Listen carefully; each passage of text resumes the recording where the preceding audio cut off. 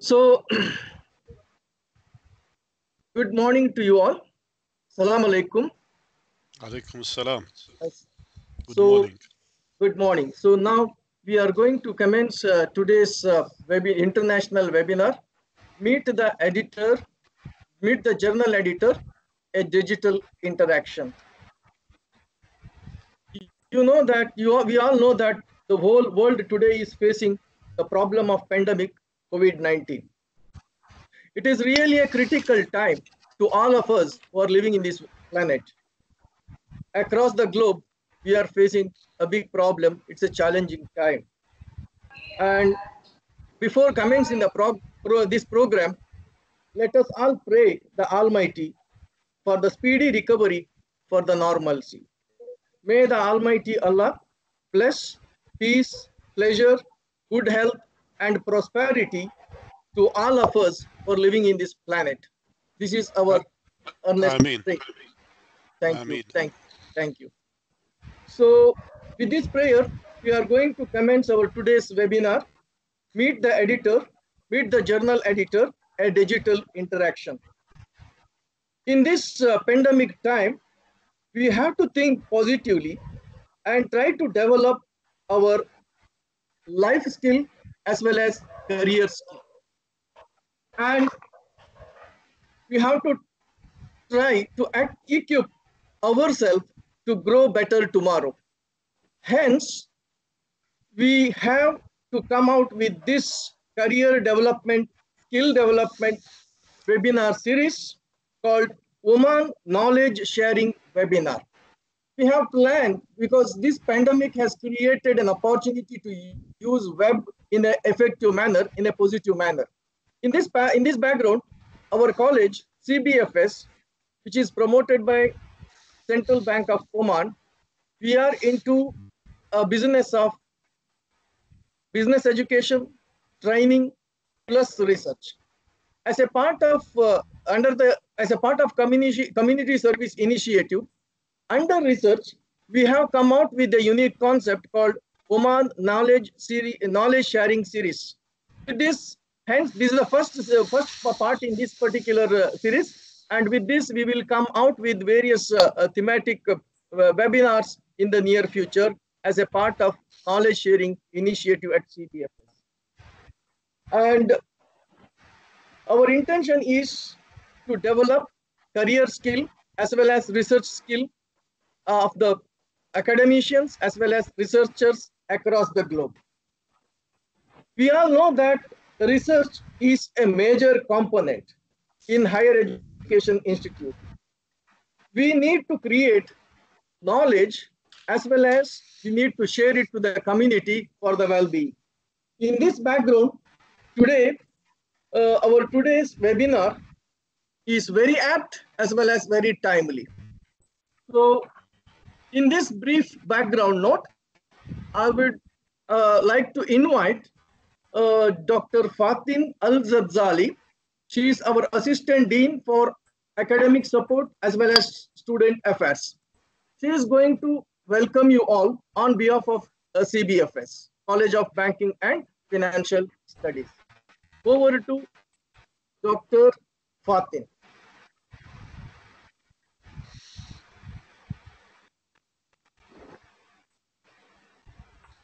Hello everyone. Assalamu alaikum wa rahmatullahi wa barakatuh. Alaikum Uh, due to salam. connecti- uh, uh, thank you, Dr. Said. Due to connectivity issues, I actually uh, using Dr. Anand's uh, platform over here. So uh, I uh, request you to excuse me.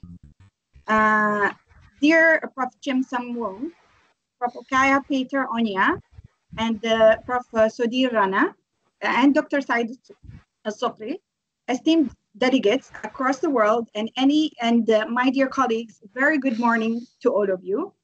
Uh, it gives me immense pleasure to welcome you to the international webinar on meet the edit the journal editors a digital interaction which is organized by the college of banking and financial studies with oman economic association. Today's international webinar is part of the college research promotion and knowledge transfer initiative. The main aim of the webinar is to provide a scholarly platform to discuss about how to write impactful research papers for publishing in top-ranked scientific journals. Uh, the webinar is expected to produce a deep understanding of quality publications and improve uh, quality of applied research and what is uh, it's what best opportunity than meeting the editors today and asking them question on how we can actually achieve that and accomplish it.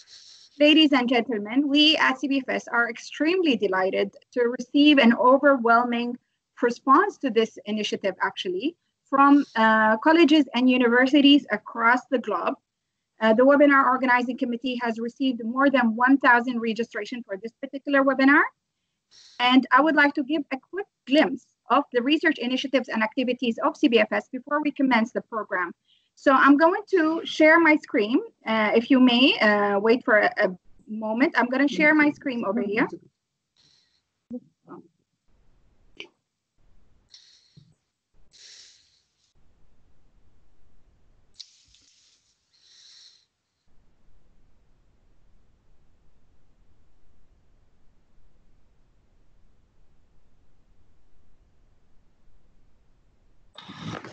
Yes. I hope that you can see the screen over here. Can somebody confirm that you can see the screen? Uh, not yet, Dr. Fatin. No. Not yet. No, no, Okay, doctor. Okay, wonderful. So, uh, uh, Dr. Anand, I'll just share screen. Sharing screen is done this way. So I'm sharing my screen over here. I hope that you can see the screen over here as well. Yes, Yeah, ma'am. now it's, Yes, now- we can. now it's okay. Yes, yes, yes, great, working. So,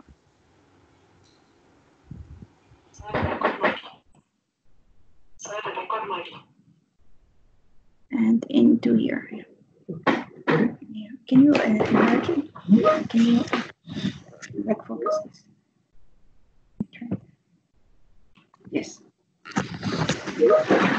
So uh, I'm going to give you a glimpse of the research initiatives and activities at the College of Banking. Uh, here we go. These are the some of the initiatives that we are doing at the moment. One of them is the capacity building, creating the infrastructure that supports the quality research in the college. Research promotion, generating knowledge through quality research in areas of banking and finance. In fact, we are having other areas at the moment, such as sustainability, insurance, and of course the stock market. Uh, knowledge transfer, disseminate a body of knowledge that collectively shapes academic and business uh, practices, specifically in the area of banking and finance, because this is where the college is uh, focusing on, and it is one of the main objectives for us to uh, uh, uh, develop. Strategic partnership, we are fostering national and regional and international strategic partnership with academia, government, and industry. We have a large stakeholder base.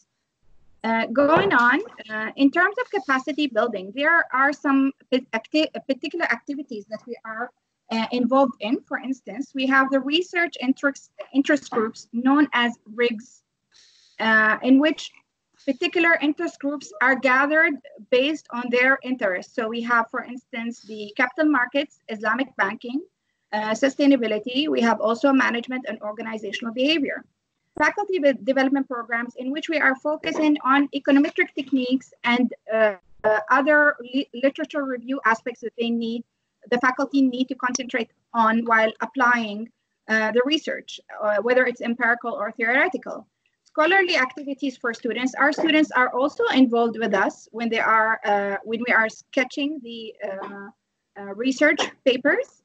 Uh, and of course, we do have uh, the Student Research Club. In terms of research promotion, we have the FRIS, which is the Faculty Research Interest Seminars. And they are conducted around, the, in every semester, I guess there are around two to three uh, FRIS events uh, conducted.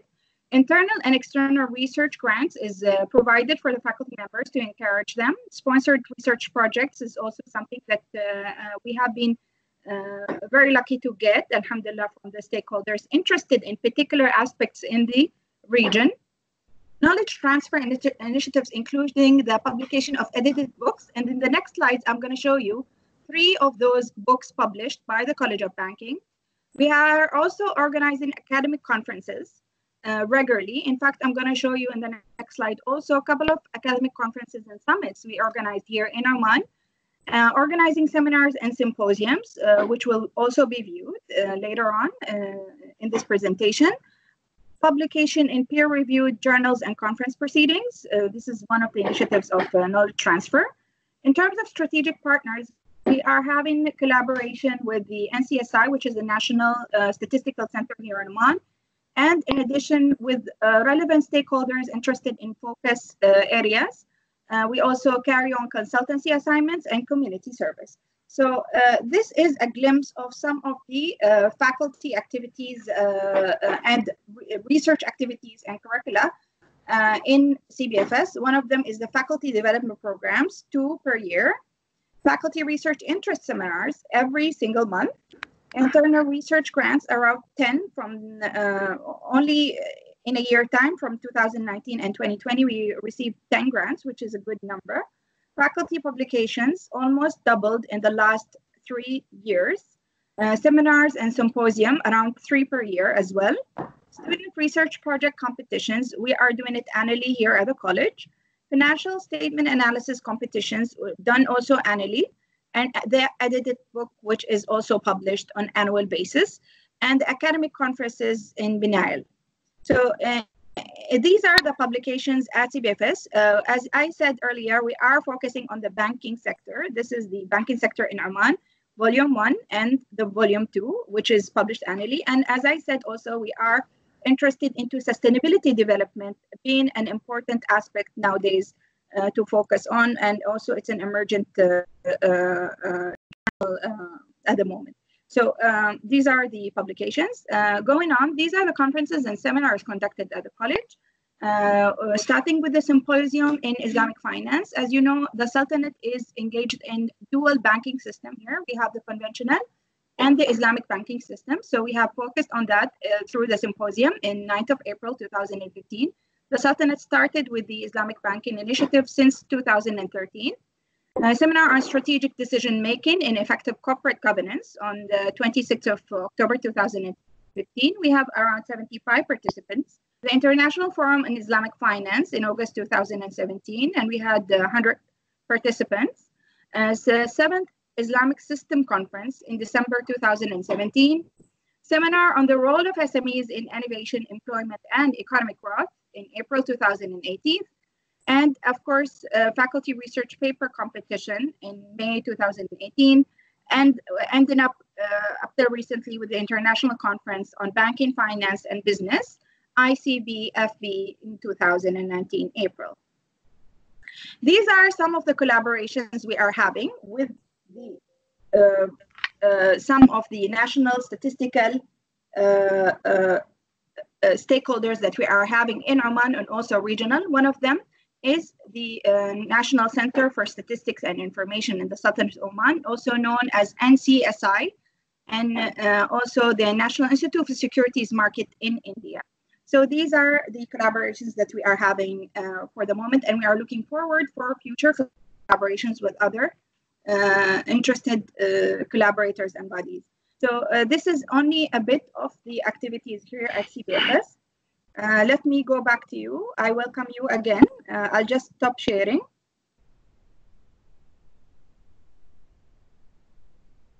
I believe you can see me now, right? Yes. Yes. We have yeah, been seeing you throughout. Thank you. Uh, oh, you've been seeing me throughout? I thought yes. that I was sharing the screen. Apologies. I wanted you to see. No, no, we so, saw the screen and saw you. The pleasure of uh, seeing you as well. Alhamdulillah. Jazakumullah. so, um, without no further ado, I mean, we have uh, uh, where the minds meet. We have the editors today, and I'm sure that you'd like to listen as well to the editors. So, uh, without further ado, I uh, pass the torch to the editors. I believe Dr. Anand is going to introduce. And uh, yes. Thank you, Dr. Fatin, for wonderful uh, uh, introduction as well as welcome note. So now we have another uh, uh, uh, collaborator of the event, that is Oman Economic Association. So we have been, you know, Oman Economic Association is one of the dynamic association in Oman, which is concentrating to develop, study, as well as to conduct field survey about uh, Oman as well as uh, applied research. So uh, we have a very right partner today for this event. I just request Dr. Saeed Al Sakri, he's the president, he's the chairman of Oman Economic Association, uh, to welcome the gathering. Thank you. Over to Dr. Saeed. Uh, thank you, Dr. Anand. Uh, good morning, and thank you for participating in this uh, important uh, seminar uh, on behalf of Oman Economic Association and College of Banking and Financial Studies. I would like to welcome all the academics, researchers, lecturers, and participants in this uh, very important seminar. Indeed, uh, as the world is fighting a pandemic with almost 17 million people infected worldwide with the uh, virus and about uh, 700,000 people dead, uh, the importance of research and using scientific uh, methodologies cannot be stressed uh, enough. Um, uh, as you know, the whole world and the forecast is that the whole world is going to uh, suffer this year and uh, the IMF is forecasting that world economy will contract by around 5%. the region, our own forecast, we think that the region will contract by 3%. Uh, but uh, uh, we think research and uh, the spirit uh, of a human being will triumph in the end. And uh, the purpose of this is just to welcome you and I hope to hope you that success in this webinar.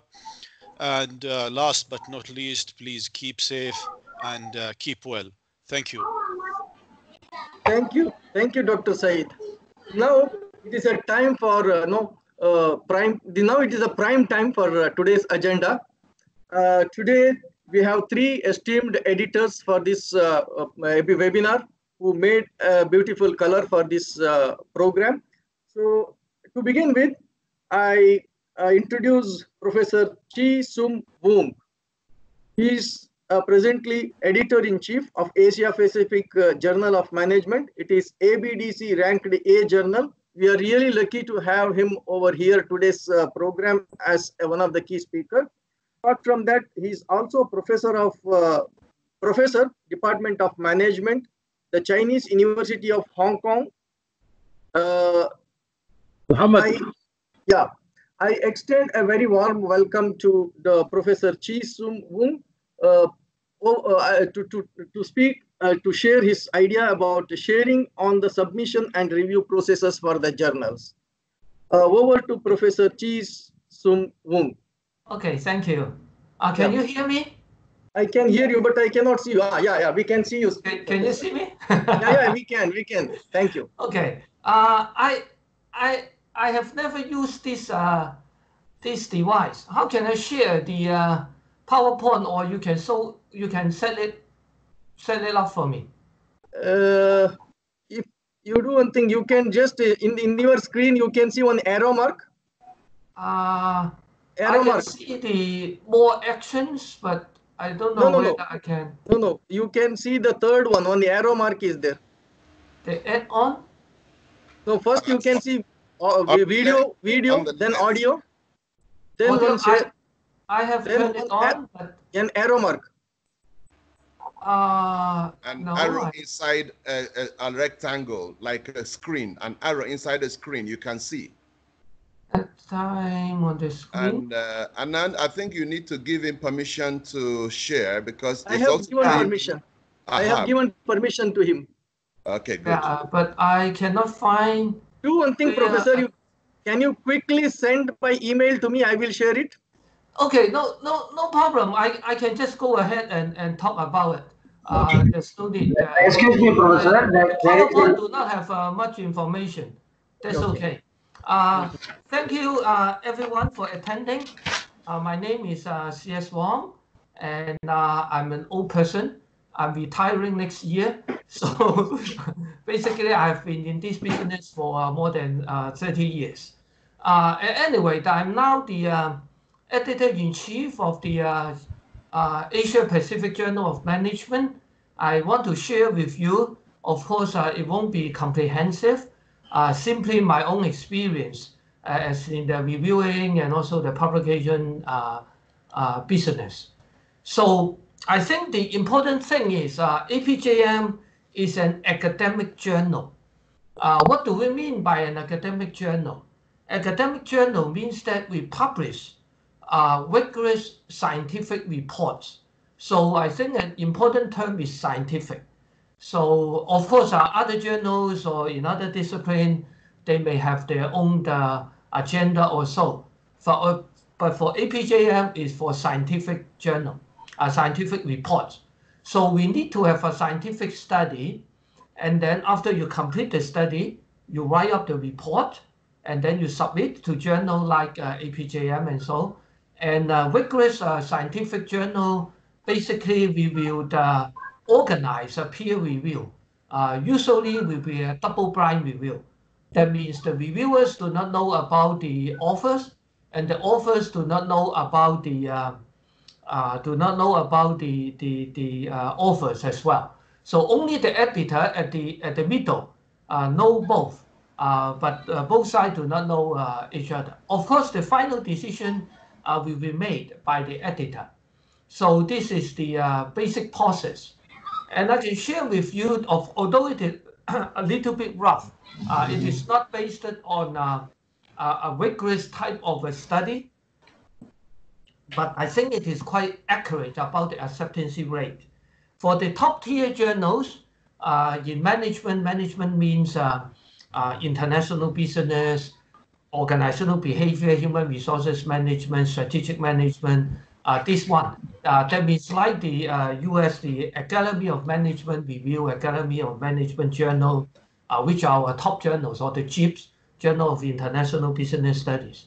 This type of top, top tier journals are usually uh, when they receive about 100 uh, submission, probably only 30% of them will get a chance for revise and resubmit.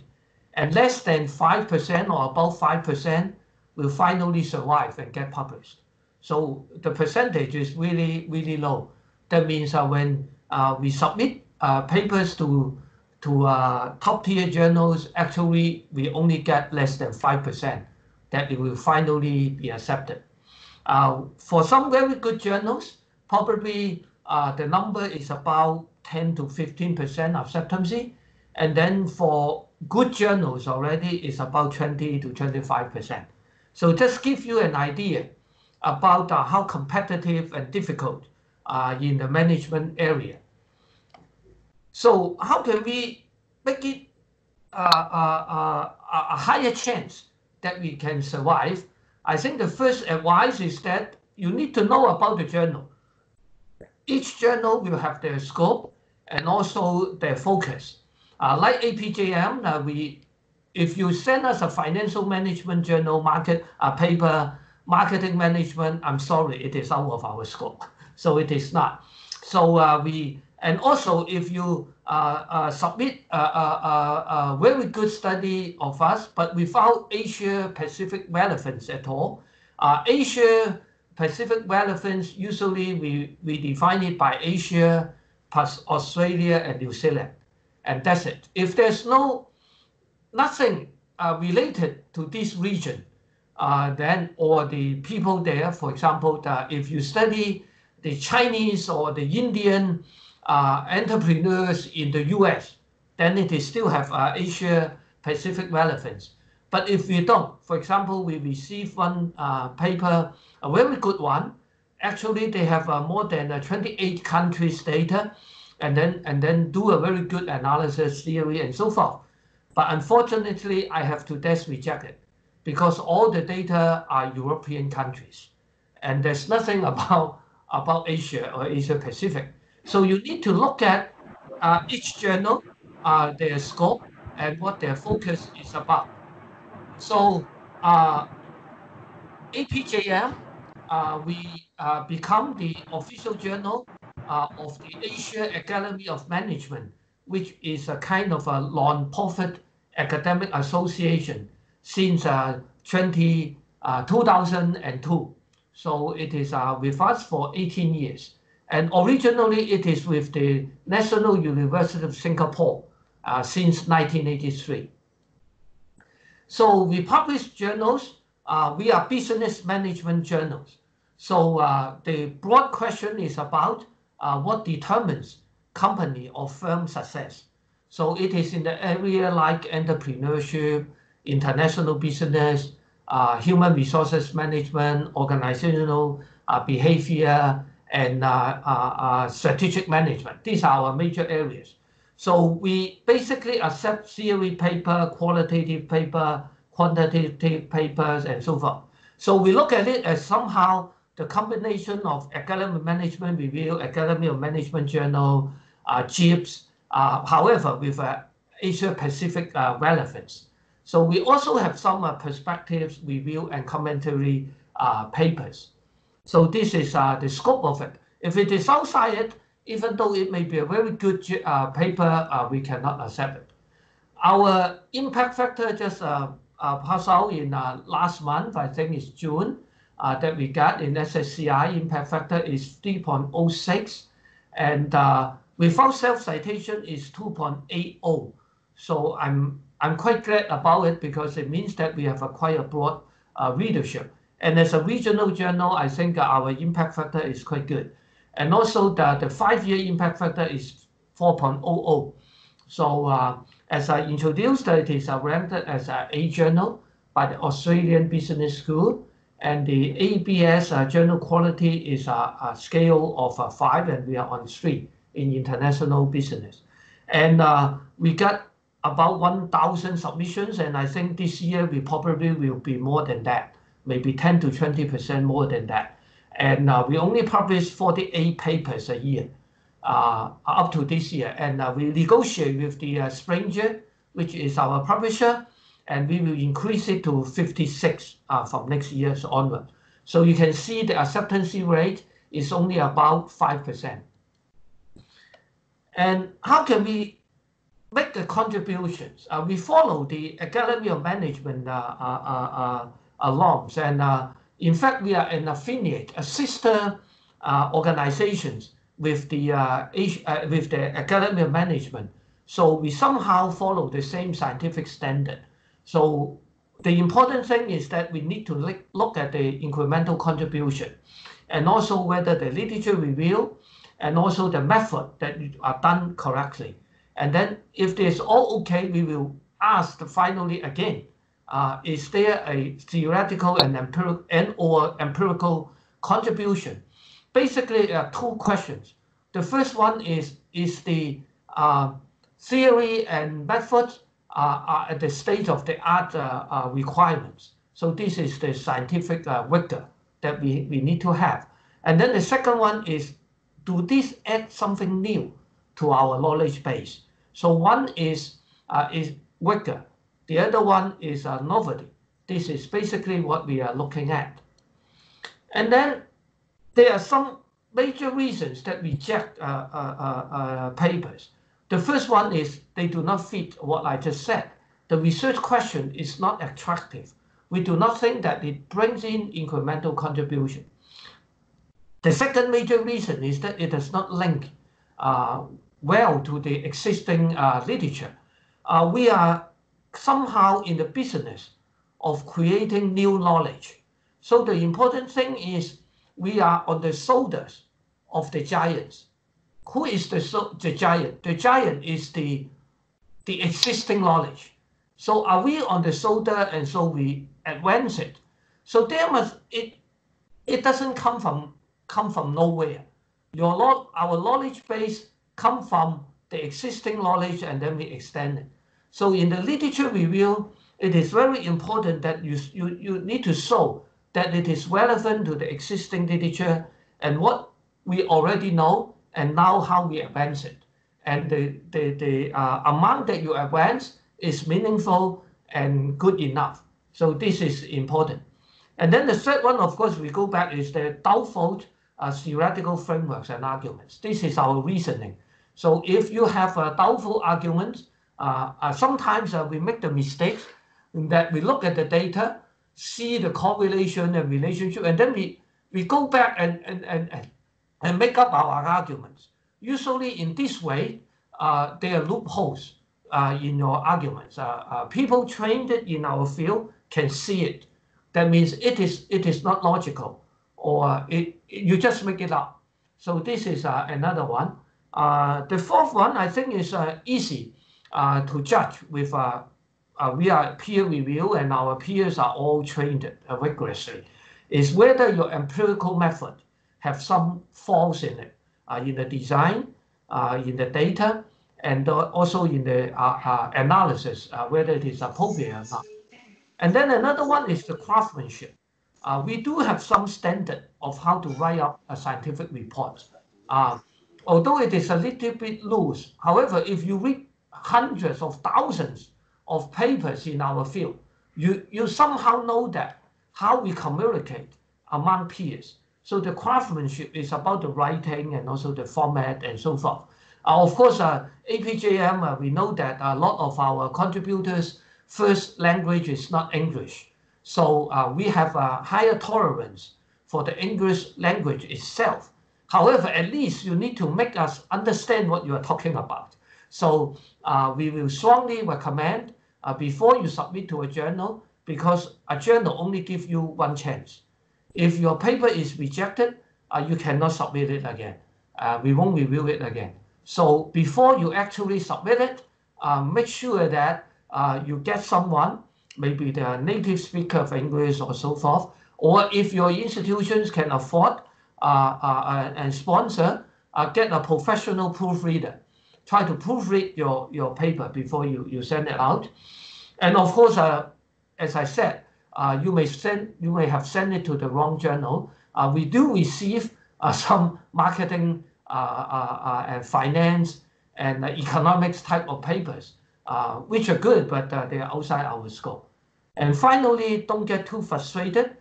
if you look at the percentage that I just talked about, you realize that in fact it is a bad luck because I don't think that uh, all the 95% papers could get rejected by our journal are bad papers. I don't think so. I think at least maybe 10 to 15% more, actually they are good enough to be published. But there is the review process. We only use two to three reviewers and action editor, and it is a very small sample judgment. And so uh, uh, uh, uh it, there are randomness, and, and, and so it is just a mere of bad luck. So how can you uh, uh have a more higher chance uh, of getting your paper and out and out revise and resubmit chance and uh, and, and and get published. Um, uh, on top of the, the the avoiding the problems that I just said, I think the first one is uh, you need to have a real scientific uh, uh, study. Uh, read more papers, and I will strongly recommend if you are interested in publishing your work in APJM, which we welcome a lot, read some of the papers in APJM that are relevant to your field first, especially those uh, published in the last five years. So you know the audience and also the reviewers, uh, what, what are they looking for? So you need to have a sense of what kind of papers and, and the rigor that they required. And of course, the two question is very important is, uh, do you think your research question actually advance the, the existing knowledge? So it is important and interesting. And also, uh, uh, uh, do you make an incremental contribution? And then another one is you need to be familiar with the methodology. Uh, in my area, I, am in the organizational behavior and human resources management area. So we, we have a lot of uh, standard for the reliability and validity of the measure. Uh, how do you interpret correlation, regressional analysis? If you an exper if you use an experimental design, what is a good design? and, and then uh, do you use the ANOVA type of uh, analysis uh, well in looking at your measurement model? do you do the factor analysis, measurement model analysis right? If you are using structural equation modeling, do you follow the standard? And also, uh, if your data involve a nested nature, uh, do you do it in a cross-level analysis? Uh, for example, in the OB and HR area, we are very concerned about the common method variance uh, type of threat. So if your data have this type of uh, uh, weakness and you do not handle it, then probably you will get this rejected. And in the strategic management and the IB studies, the endogeneity issue is a big one. So uh, if your paper do not mention about your analysis about how to rule out the threat of the endogeneity, uh, basically you will get this rejected uh, because uh, it means that you are not up to standard yet. So these kind of things uh, we need to uh, uh, be careful. And as I said, a journal only gives you one chance. So it is very important that once you complete your study and, and then have a draft, don't rush to publish, to, to send it to journals. Send it to a conference. Get some feedback. And if your institutions encourage you to do research, uh, present to your colleagues uh, in your own department and uh, areas and so forth. And maybe your uh, fellow uh, classmates uh, in your PhD program and so forth. Get the get as man, much feedback as possible, and also all other kind of insights. Another one is that you you write it up, put it aside, maybe for one month, and come back to read it again. I'm sure that you will see something that you are not satisfied. Uh, how, how can I be so stupid one month before that there are so obvious mistakes and so forth? So uh, uh, these are my advice. And then when you send to a journal, uh, make sure that it is already uh, in the best shape that you can. Uh, don't just look for the luck, and it will it, it, it, you won't get the second chance. And then another advice: don't get frustrated or angry. I introduced the acceptance rate and so forth uh, because remember this, rejection is the norm, acceptance is the exception in our area. So you get a lot of rejection. I can I can share with you that in my last uh, more than 30 years of uh, uh, in the business, more than half of my papers, the end result is in the garbage can. And I think my percentage is already higher than the average of, of a lot of colleagues, but it is already it is still over half of my papers actually end up in the garbage can. They never get published. So uh, this uh, uh, we, we need to have a strong heart for that. Uh, when you get a rejection from a journal, think carefully. Do you still convinced that you are making an incremental contribution? If yes, then take the editors and reviewers' comments seriously and continue to improve it and try another journal. And uh, after you get the chance to R&R, uh, celebrate. It is already achievement. Uh, you are the 30% that survive in the first round. So it is already quite, quite good. Uh, try to work on the revision and uh, be persistent. Uh, never give up. And try not to be too optimistic or pessimistic, uh, but try your best uh, to, to, to, to do it. And it is already an achievement for an hour and now. And in responding, you must respond to all the comments. Don't skip some of the comments. You need to respond to all the comments. Uh, if you disagree with some of the comments, tell the editors or reviewers why you disagree instead of ignoring it. Ignoring it get you nowhere. The reviewers and editors will push it again. So of course, be polite. Uh, we are scientists talking to scientists. So uh, you try to persuade the editor and reviewers by reasons and fact. I have heard a lot of people saying that they try to please the editors and reviewers. Don't do it. You are talking to them and try to convince them with fact, evidence, and your reasons. Uh, we are scientists. Don't. There's no because the, the reviewers do not know who you are and you do not know who they are. So when you write, of course, you are always polite. You thank for their time and efforts to try to help you to make the paper better. This is the attitude. But then in the fact, reasons and so forth, you need to have the role, your own pers- uh, uh, right on it. My advice is that try to make a kind of uh, evaluation on the comments back, whether it is a kind of judgment call versus something right or wrong. If it is a judgment call, that means there's no right or wrong.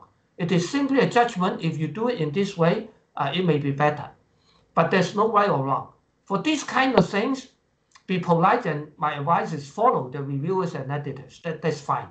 But for something that is right or wrong, you need to be, you need, you do not need to follow the wrong comments of the editors and reviewers. This debate with them why that's wrong, and so you cannot follow. So that's the way that we we, we try to. So by then, remember that uh, uh, uh, uh we are scientists talking to scientists. No need to please them. So this is the uh, somehow I, I, I, I, I can share with you uh, uh, in the brief time. Uh, thank you for listening. Thank you. Uh, thank you very much, uh, Professor Chi Sum Wong. Uh, you have you have really made a wonderful presentation and given a lot of thoughts to the young as well as elderly authors. I really like the word you have said that is disagree with the editors. Normally, we, we, we believe that the editor is final. So you have given a very good thought today that if somebody is disagreeing a audit, uh, editor, I think it is uh, really a nice idea that, you know, sometimes uh, people used to feel that uh, everything is right. So that's a good point you have raised. And uh, uh, we have more question and answer session with you at the end of the open forum session. Now I will move on to the next presentation we are lucky to have another good editor, that is Dr. Okey Peter Onyia. He is editor-in-chief of Journal of Financial Services Marketing. It is ABDC ranked B journal by Springer Nature. And he is also associate professor in the University of Wollongong, Dubai campus. Uh, he is going to present today about writing and formatting for publication the journal editor's expectations, a wonderful topic. Uh, now I extend warm welcome to Professor Woke. Over to you. Thank you very much, uh, Dr. Anand. Can you give me permission to share? Yeah, please. I have it's, already given. It's, no, it's still showing that uh, only organizers and presenters can share in my own. Is it? Yes, it's, it's showing that only organizers and presenters can share. Uh, so that arrow is not highlighted. Okay.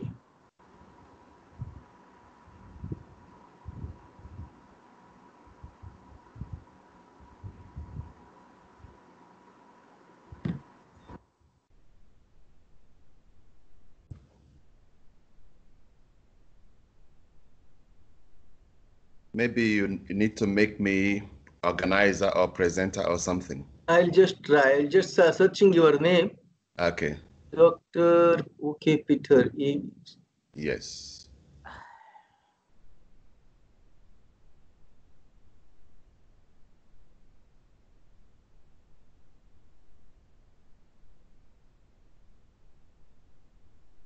Make a presenter. Yes, done. It's not showing still. Yeah, yeah, I have done now. Oh yeah, now it's now it's on. Thank you. Excellent. Please, can you all see my slides? Yes, yes, yes, we can see now. Excellent. And I guess you can still see me? Yeah, yeah, yeah. Excellent. Okay. Um, uh, good day to everybody. Still mid-morning here. I guess we share the same time as Oman uh, here in Dubai. Um, it's my pleasure to be part of this webinar today. I am the, the journal editor for Journal of Financial Services Marketing. This is a journal that crosses between finance, banking, insurance, and marketing, of course, services. we all know that uh, since the last 15 years, uh, technology has improved the service industry a lot, and services have grown more than manufacturing and mining within the last 20 years, thanks to technology. So now we have services being a huge aspect of the global economy. And of course, which one is service, which one is the champion or giant of service, it's not banking and finance. So banking and finance happens to be a major aspect of the service marketing that we are covering uh, and in this journal. And I'm going to share with you uh, what I call a what I call journal editors expectations. I've been publishing for the past uh, 15 years, and I didn't know this until I became a journal editor myself. I'd been line reviewing for many journals, And I didn't know even some of these facts I'm giving you today until I became um, a journal editor. Okay, so my topic is following author instructions is key to success in publishing. Follow the author instructions. Don't ignore the author instructions in the website of the journal. Okay. Then make sure your research is practical, problem solving research, not research for the sake of it, not writing paper for the sake of it. I am building on the back of what Professor Justin said that it is not just writing the paper for the sake of writing it to rush it to the journal. Make sure there is something you are contributing. Make sure it's problem solving. Make sure that there's a task being accomplished in it, not just writing for writing's sake. Most journals don't like the idea of publishing for the sake of publishing, you know, publish or perish. Many universities will go for publish or perish, but we don't go for publish or perish in the journals. We want quality publications. Whether it's A journal, A star, B or C journal, everybody wants us to add something, incremental knowledge to the body of knowledge that's existing. So the first thing is in your introduction of your research paper, make sure you your aims and objectives are very clear. What the first thing we're going to look at, even at desk editing, is what is this paper talking about? What does it want to achieve? What does it want to, what's the aim? What's the objective? What does this paper want to, to put out there? The reader, what's reader going to gain as extra knowledge, either on theory building or in practice in industry? What am I going to get from this paper? What am I going to gain from this paper? That's the first thing. So your introduction should be very important. Then, of course, the theoretical background. Theoretical background literature review. Do not chock it full of old papers, old literature. Okay? Make sure that the papers, at least 60%, as I'm going to mention later, 60% of the references are within the last 10 years, 40% within the last five years. Then you get a good chance to publish. Current literature. So you are building incremental knowledge upon current body of knowledge upon current literature, not upon old literature. You can't be building incremental knowledge upon literature of 1970s or 80s, even, even 90s. It doesn't make much sense. So establish what's been there already, theoretically, have a good background, then discover the gaps in the literature, discover the gaps in the body of knowledge, and make your inferences. Inferences means your own deductions from what you have read in the literature. What are your deductions? What are your justifications for the gaps you're finding? That will help you to establish your research questions. That will help you to establish your research questions or your hypothesis. Don't, don't forget, you don't have to have, it's actually not proper to have research questions and hypotheses within the same paper. It doesn't make much sense. So they are actually covering the same thing. They are actually asking the same questions. Research questions means what are the things I want to do, uh, questions I want to answer in order to fill up this gap I found in a body of knowledge. What are the questions I want to answer to be able to fill up this gap from my inferences in the background literature? On the other hand, so you make it you make it questions that becomes research questions. But if you make it statements, hypothetical statements that need to be proven, then that becomes hypotheses. So you can't repeat both of them is either research questions or hypotheses. When you establish very good hypotheses or research questions based on inferences from current literature, current body of knowledge, then you know the information you're looking for. You know the kind of information you want to get. You know the data you need to collect. And you design a very good instrument for collecting that data, that, that piece of that set of data. You establish the factors necessary to be investigated factors, variables necessary to be investigated. So we're not doing research for doing sake. These are where you begin to look at what are those factors that I'll use to answer these research questions or to investigate or test these by hypothesis. What are those questions that if I address them, I will solve the problem that's the overarching objective of my research. because I'm looking to solve a problem. I'm looking to fill up gaps in the industry. I'm looking to fill up gaps in the body of knowledge. What are those factors I need? Those are the factors to investigate. It's not just to pick up things here and there and chuck it in there an instrument and begin to do research. Understand, it doesn't need to be complicated. It's got, it got to be simple, but you have to contribute something meaningful, incremental, no matter how small. Very, very clear, very meaningful, very useful, even if it's not so large. So it's not the size that matter, but the quality of the contribution that matters. Then, of course, if you get good uh, instrument design, collect good data, or you have access to good secondary data, then you'll be able to do very good analysis. The good analysis should give you ability to answer those research questions or to test your hypotheses. And you have very good discussions about them towards being able to answer those research questions or support or refute your hypothesis. Again, let me mention here, there is nothing wrong in refuting the hypothesis. That means there's nothing wrong in saying, okay, this hypothesis is wrong. It's part of research. It's not of the time that you have hypothesis and you say, oh yes, it's all correct. It's all everything is proven. That's wrong. That's what we used to think in our student days, you know. But I can have good hypotheses and prove them to be wrong. And then that's good good paper as well. Okay? And make very good uh, conclusions, recommendations, not forgetting to establish limitations, little shortcomings here and there of your of your research, and suggestions for future uh, research from it. This is simply, in a nutshell, what makes out a very good paper, and this can come within 5,000 words if you go straight to the point and you know you you have definite objectives, very clear tasks you want to achieve, very clear problems you want to solve. Okay. So having said that, let me then, don't, then go into the next part of my presentation. Before you submit, don't, as the, the first presenter already said, don't be in a hurry to submit. I, I don't personally like the idea of publish or perish. I discourage universities that do that. And I've been through seven universities myself, both as student and professor. Try to be patient, like the presenter said. Keep it aside for a month look at it again. The same thing we were advised during our PhD days, if you remember. Finish it, drop it somewhere, come back a month later, you see a lot of things. You wonder yourself, what, what, what did I write here?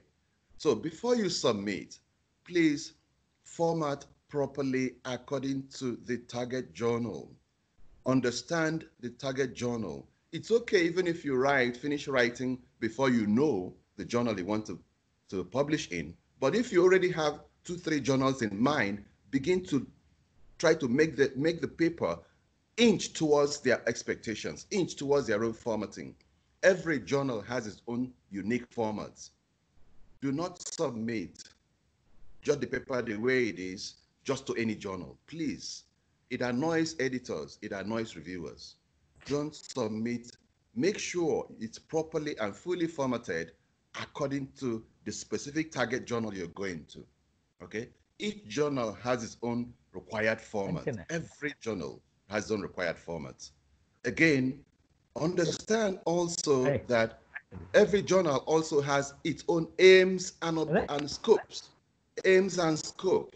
Make sure your paper is fitting within the aims and scopes of the journal. It's always in the on the website of the journal.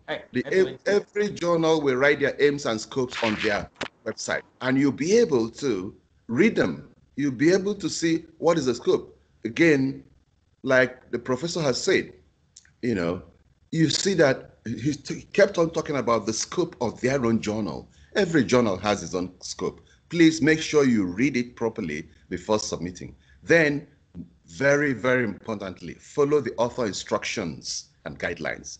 Don't ignore it. If you ignore the author instructions to format your paper according to the journal, it's automatic sendback, it's automatic rejection. It may not last five minutes on the desk editing if you ignore the instructions. Please do not. Again, so construct the paper to fit the specific journal's format even before you submit. Now, as he already advised you, and I'm you know, building on it, make sure you download one or two papers from that specific journal you're targeting. Read it very well, not just reading it to read knowledge, of course. You would have read many papers, even from that journal, to get to establish the theoretical background, but download a recent one, a very recent one published in, in that journal, and see the structure, see the format. Now, you see what you've done? You looked at the format and scope, you looked at the aims of the journal, now you looked at author's instructions, but then you're confirming it again by looking at by looking at a, a paper already published in that journal recently to see the formatting to make sure your own is mirroring that one. Make sure your paper is matching that one recently published in that journal. Okay? And then, like he said also, proofreading. Proofreading. Do not just again rush it out. You, it can annoy reviewers. It can annoy reviewers. Make sure that it's readable clearly. Make sure that give it to somebody else, your colleagues to read. Take advice, present at a, at a conference, take advice, proofreading, bad grammar. I, I know many of us come from countries that are not uh, English by origin, but we, we studied in English. I, for instance, I come from Africa, but I studied all my life in English.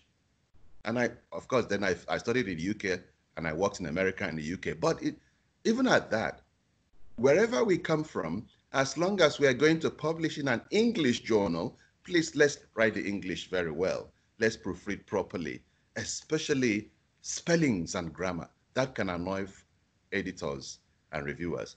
Okay, so in formatting, I'm just going to give a little bit of tips and areas of formatting. Look at the title. Title also has word count. Some people don't know. Look at it. If you look at two, three, four, five papers from that journal, you see you have an idea of what counts. In my paper, Journal of Financial Services Marketing, seven to 12 words in the title. You can't have a title that has 13, 15, 18 words. It doesn't make any sense. It becomes clumsy. People won't understand it. Okay, then the abstract also has its own format. Every journal has format for its own abstract and the word count. Don't forget that. Then, of course, I already talked about the structure. Structure in terms of the sections. Now, what I gave you earlier in my begin in the beginning of my presentation is an ideal sectioning of the research. Every journal, if you write your research in that way, you will see that it's easy to format it into any specific journal in terms of their sections because those are the sections of a normal, properly written research. Then what counts? I, I, have seen in my experience as an editor, a lot of people try to negotiate what counts. I'm getting emails from people telling me, you know, your your your journal says 5,000 words limit. I have 7,800, but I have the best thing in the world in my paper. Please, can you accept it? It's not negotiable.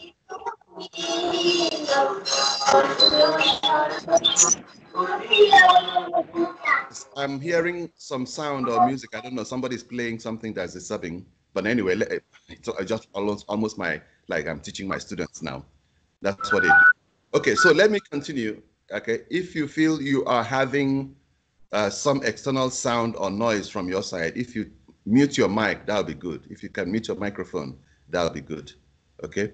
All right. So the overall word count is very, very important. Very important. Then, of course, referencing and citation. Don't ignore the style. A lot of people also tend to write the style of their university and submit to any journal. Your university might be using Harvard style, but the journal might want MLA or the journal might want APA style. Please, that's a reason, another reason to read a recent paper published in that journal to look at their style of referencing and citation. Very, very important. Many, again, many journals have totally different style of referencing and citation that they want. Follow the one that they want. Do not ignore it. Again, please. Then, as I said earlier, make your objectives very clear. Research questions or hypotheses very clear. Because that's what your research wants to achieve. And that's the first thing the editor will want to see. What does this paper want to achieve? What does what is this research done to achieve? what knowledge is it going to contribute to incrementally? Not just to developmental theory in this case, but in practice as well. A lot of paper are heavy on theory, but nothing contributing to the industry, especially in our area. We are in the area of services, marketing, in the financial sector. And the financial sector, banking, non-bank financial institutions, insurance companies, they are practice oriented, they're heavy on practice. So you want to have something in your contributions for development of the body of knowledge incrementally, but especially you want to have something that the industrial manager, that the banking manager will find useful in the paper. Then it makes sense.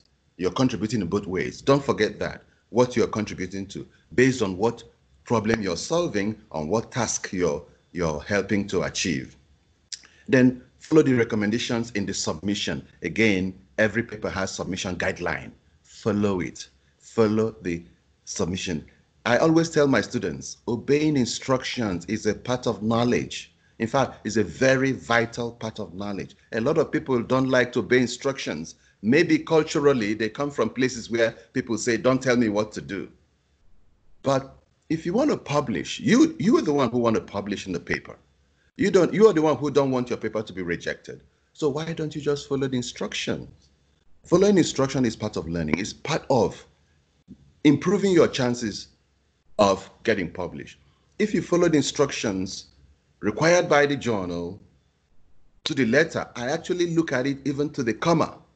Sometimes when you, especially in references, you write, you put column or you put a comma or you put a, a full stop, it means a lot as well. Don't ignore these little things. They might be small, but follow the steps in, in submission. Do it the proper way, format the proper way, and you have almost 20% chance of your paper uh, getting accepted because of the way the structure. Then, of course, if the content is excellent, another 20% chance. Then it goes, it scales desk editing and it goes for review. And the chance I mean, chance of being accepted for review chance of being sent to review, chance of not being rejected at the desk uh, desk editing stage.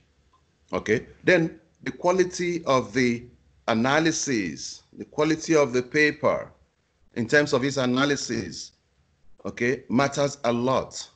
Not the volume, not the quantity, but the quality of the paper itself in terms of the body of knowledge, the incremental in addition to knowledge and the analysis the argument being made means a lot, not number of papers we're churning out every year. Ensure that 60% of your references are within the last 10 years, as I've already said, and at least 40% within the last five years, if possible. Now, here is my secret, my own personal secret to you. Before you submit, make sure 20%, at least 20%, 25% of the references come from the same journal you want to publish.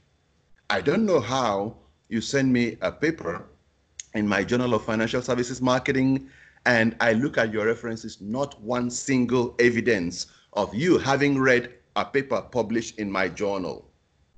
How do you expect me to accept that paper? You haven't read a single paper published in the journal and you want to publish in the journal. So part of it is to show the editor I've read, I've not only read, to follow the format, I've read and acquired body of knowledge from the journal, existing body of knowledge from the journal itself. So again, you make sure you are not replicating what's already published in the journal. So 20, 20, 20, and this is minimum, 20, 25% of your references come from the same target journal. This is my own personal secret. Most editors won't tell you this, but try to always do that. Okay. Then after submission, be patient. Be patient. Be patient. I know a lot of universities are pushing us, publish or perish, but please be patient. It takes four to six months to complete desk editing, review, uh, uh, find a reviewer. It's these days of COVID, very hard to find people who have the time to review. To find reviewers, receive re review reports before making a decision, four to six months. Please be patient. Then it, of course, you can go for minor revisions or major revisions. That adds more time again. Now, even after it's been accepted, depending on the journal, it could take another six months to, to nine months before publishing. I had a paper accepted and it took 12 months before uh, they were killing it before it got published. So be patient, okay? Be patient, be patient. Don't start writing the editor. Don't start writing the editors every month to know about the status of your paper. I get that a lot. It may backfire. Please do not write editor. As soon as you send it the next month, you write an email because you're trying to push it. Don't try to influence it. Don't try to influence the process. Allow the process to take its due course. And I'm saying, unless you have submitted a paper and four months you haven't heard from the editors, then you can write. Uh, four months you haven't heard. I don't mean even after the since the day of public of, of submission, if you haven't heard from the editor for about four months, then you can write. Please don't write frequently. Don't write every month. And don't write immediately you submit. Please. It doesn't, it's it's not good. Have patience. Okay? Now, again, to help the process go, to help it, I already mentioned that this COVID, we found that during this year, because of COVID, most over 90% of people who accepted to review failed in meeting the deadline because of a lot of things, a lot of transition from offline to online teaching, and they have things they're doing in their universities. They have more jobs, they have more things on hand they're doing, developing new curriculum for online learning and teaching. So a lot of things being done, and assessment as well. So we have to be patient this year 90% of reviewers who even accepted to review did not could not meet the deadline for the review. So please we'll be patient. Again, another thing is, as an author, the moment you want to publish, be willing to also be a reviewer. Be willing to also be a blind reviewer. Chances are that some some editors might ask you to review a paper. Because once you register in the system, in the editorial system, you get your your name is in the database, your address, email address in database. You could be called up anytime to review a paper. Please be willing to review a paper and in time. It's not enough to submit your own and go and rest. Be willing to help the process move on. It's all of us that can help the process to move on. Okay? Then re review within the time limit. All of us are publishers, all of us are authors, all of us are reviewers. If you, the moment you are a scholar publishing your your paper as an author, you are qualified to be a reviewer. So please, the first thing is have the willingness to review. Don't reject all the time. Secondly, try to review within the time limit once you accept a review. Try to review within the time limit. You are helping the whole system, including your own paper, to move fast. Okay? Then uh, because it doesn't make sense when you accept a review and you sit on it and expect your own to be sped up. Many of people are doing it. They expect their own paper to be sped up, but meanwhile they are sitting on other papers, other people's manuscripts. So how can you sit on other people's manuscript and you are not reviewing it on time, but you want your own to be reviewed on time? To me, it doesn't make much sense is not helping the system. We all have, we're all in it together. We all have to help help the system together. Okay. All right. So that's it. That's me, and uh, that's straight to the point for me. If you have any question, we can take it at any time. Thank you so very much for listening to me. Thank you.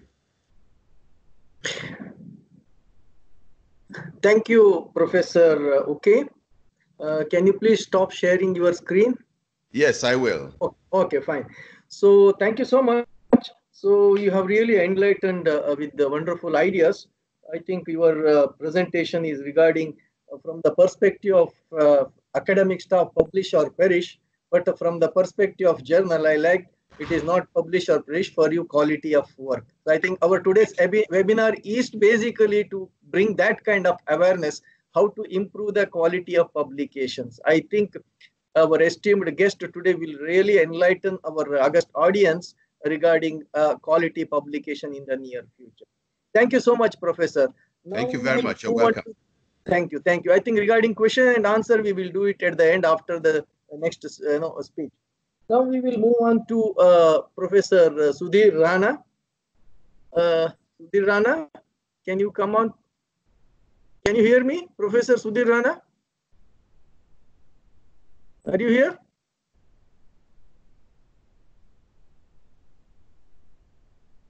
Hello? Yeah, please yeah, yeah. I'm here. Okay, I, I okay. did it, Professor Anand. I can hear you. Thank you. Okay, okay, okay, fine. Uh, You can you share your screen also? I you- did it. Can you see No. it? We can see. it. Okay, Peter, Dr. Professor. Okay, Peter. I think that is through your screen only. I think. Yeah, yeah. Okay, fine. So before before starting, I I would like I, I Yeah, take the you can- you can see it, right? Yeah, I can see you. I, I will just introduce you then. So uh, I, I take the ple- pleasure of introducing Professor uh, Sudhir Rana. He is editor in chief of uh, FIIB Business Review. It is an emerging uh, journal from Springer. Uh, I think it's an upcoming journal. We can expect uh, soon a lot of good news from this journal. He is, apart from editor in chief, he is also associate professor of Fortune Institute of International Business, New Delhi, India. Today he is going to uh, present us a wonderful topic that is winning the heart and mind of editors and uh, reviewers. So he is going to present us how we can win the heart of review. I, as a uh, author, can review, win the heart and mind of uh, the editors as well as reviewers. Over to Professor Sudhir. Go ahead, please, sir. Thank you so much, Professor Anand. And it was a very enlightened discussion done by Professor Wong and Professor Peter. Uh, thank you so much, professors, for establishing and laying the foundation amongst the audience to what what we we all are we all editors all publication outlets they almost have the same agenda that is to bring quality content into academic discussion and serving the academic Professor, community Professor, Professor, can you please uh, uh, sh- sh- switch on your video? We can see you also. Uh, I did that. Okay, fine. Okay, no problem. Go ahead. I, I. Ah. Okay, I am um, seeing. it's okay. okay. Can you see me? No, no, I, I can see me only. okay, it's okay. You can go ahead with the PPT presentation. Okay. Okay, fine. uh, Okay. No, no, So, uh, like, No. um, PPT. You, pl- ah, okay, right. Thank you. Go ahead, I- please. is that okay now? Yeah, it's okay. Fine. Thank you. Please go Thank ahead. you. Thank you so much. So, thank you so much, Professor Anand and his team for taking this initiative and giving us a chance to share what we think. I'm presently associated with three publication outlets. One is FIIB Business Review, rightly said by uh, Dr. Anand. Is it's an emerging journal. It is being published by Sage. And second is a editorial series. It's um, advances in emerging markets and business operations. Came through Routledge, Taylor and Francis. And third is a very new journal. This is South Asian Journal of Marketing, which is upcoming in Emerald. Uh, in August, we will have our uh, website done of the journal. And soon we will offer this to our academic community. So what I'm going to specifically talk about is because I'm not as experienced editor and uh, scholar as my both fellow colleagues have. Um, I started my research journey a decade ago and looking at myself being scholar and being editor now, I, I think there are a lot of things that help us out in when it comes that how do I win heart or mind of editors and reviewers? Because these are the people who are not going to give kudos always to your paper or your work that you're submitting. Their job is to look critically at work that you're submitting. Therefore apart from the quality quality is something that every editor every editor in this world would expect and specifically when it's a quality journal it's a scholarly journal then quality is the basic parameter. No compromise on quality. But uh, what other you can add what additional you can do that help you out in winning the objective of getting published? One thing i would like to start share with you that every publication outlet is at different stage in this progression. And therefore the editors of these journals will have different expectations. For example, um, Professor Wong's journal has already completed few rankings and already uh, higher on on some ladders. So his expectations may be different than to Professor Peter. Professor Peter is also into that ranking. His journal is also into the, that ranking race. So his expectations would be different. My journal is at infancy stage currently we have um, completed process with Scopus and also the application is uh, due with Web of Science. It was submitted six months ago, but it takes time. Um, therefore, the expectation that they keep, I, I may be a little mild in, in certain things. It does not mean that FIIB Business Review or the other journals, that new journals that I'm talking about, they do not look for quality but somewhere a synchronization has to be. So the more high on the ladder the journal is the definition of quality varies. And then how do you get it? Because there is difference. The difference in experience the difference in quality the difference in opinions. Ah. And what exactly how do you see that what who who expect what? If it is a high ranked journal then what do they expect? And if it's a lower ranked journal what do they expect? One thing i want to share with you sometimes it happened that a lower quality journal editor reject your manuscript and it sail through with a high category journal. It is it is just you know I, what you are agreeing to. Sometimes your opinion matches with the expectations uh, uh, with the reviewers and editors or the ongoing debates that is going on into the journal and sometime not. So let me just bifurcate it and show it to you how exactly you are going to run it through there is variations in the journals in terms of ranking publishers patterns style their aims and scopes therefore their expectations of the editors is also going to be different. This is what that every editor expect and this is what the very where the variation comes in. If you see that professor wong and professor peter they both talked about the structure they both talked about the quality clarity in the manuscript. That manuscript should be well structured should have a good scholarly communication should have readership of the journal articles. Yeah these are very common things. But where the differentiation comes in? The differentiation comes in when you are already a part of that community for example if you talk about international business journals and if if you acknowledge and you know we, we know that global strategy journal or uh, uh, JIBS, Journal of International Business Strategies, they, they, they do quite well in that particular domain. So are you familiar with knowledge contribution or scholarly contribution by the famous authors in that particular field for example you're dealing with and this is this is one one experience that i'm sharing being scholar myself not only as an editor. I have submitted one manuscript uh, to journal of business research and i came across with one study that has been discussed in literature not originally. This has been modified by the authors and the citation almost went wrong. It was not what it was saying. People were getting the cross citations from other papers, were putting it there.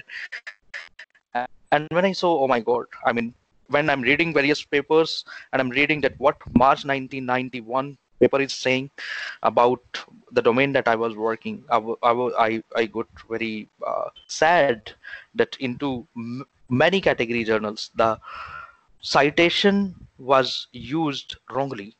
So where you make a difference is when editor know your domain and editor, if you it, capture somewhere that yes, what you have explained is right or wrong, can can put you into trouble and uh, editor will not accept it.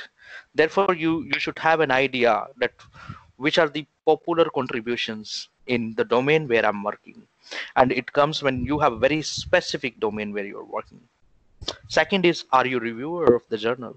If you're reviewer of the journal, then it gives, I, I won't say that editors are going to favor you there, but they will have a soft corner about you and that is because you have been helping them in reviewing and they also look at what kind of review you have been submitting you have been a constructive reviewer or you you just did the review completed by by given one liner reviews. So editors really like when you have a very comprehensive detailed logical review that you do.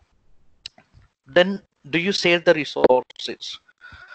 Additional files. And I, I have seen that many authors they refrain sharing additional files. And they they they show in the manuscript that they have done a lot of things. But when it comes to sharing the additional files they do not for example the data sheet they hardly share about it. The analysis background of analysis they hardly share about it. If you have long transcripts where you have um, interviewed distinguished people or or maybe uh, some some transcripts that that are into um, original forms do you do you share them? Do you recognize the journal? Do you recognize the work which is being done by the editor because there is also a possibility and sorry i'm bringing this to you but i'm sharing the hardcore truth that sometimes it's also possible that the editor of the journal is also from the same domain in which you are working. So do you acknowledge their contribution? Have you read their contribution? Do you know about them? So this is something that you need to know about the people who is serving to the community who is part of your community. So more if you would look like that it is about knowing your community being a community citizenship citizen in the area where you're working sharing your own knowledge your own um, um, sources that you have developed and building a trust that something that you have done is original something that you have done is is important. So there you can differentiate and create a variation. Like my colleagues have mentioned before you target a journal do you know them well? Do you know what is the average turnaround time? That how much time it takes into the review process how much time it takes to the final decision. And many publishers they publish that when the article was uh, uh received when it got Uh, revision when it was finally accepted and you'll find that many of the journals they take more than four to six months to reach on a conclusion or a decision level.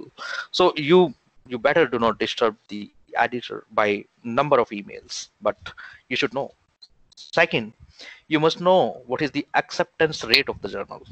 And trust me it's is for for the high category journals it's it's below if you talk about um, the uh, journal reviews, FIIB Business Review, um, uh, though people may have a perception that uh, it's, it's a new journal, it's at infancy stage, so I will have a better chance of acceptance. However, my orientation being an editor is totally opposite. I seek quality contributions.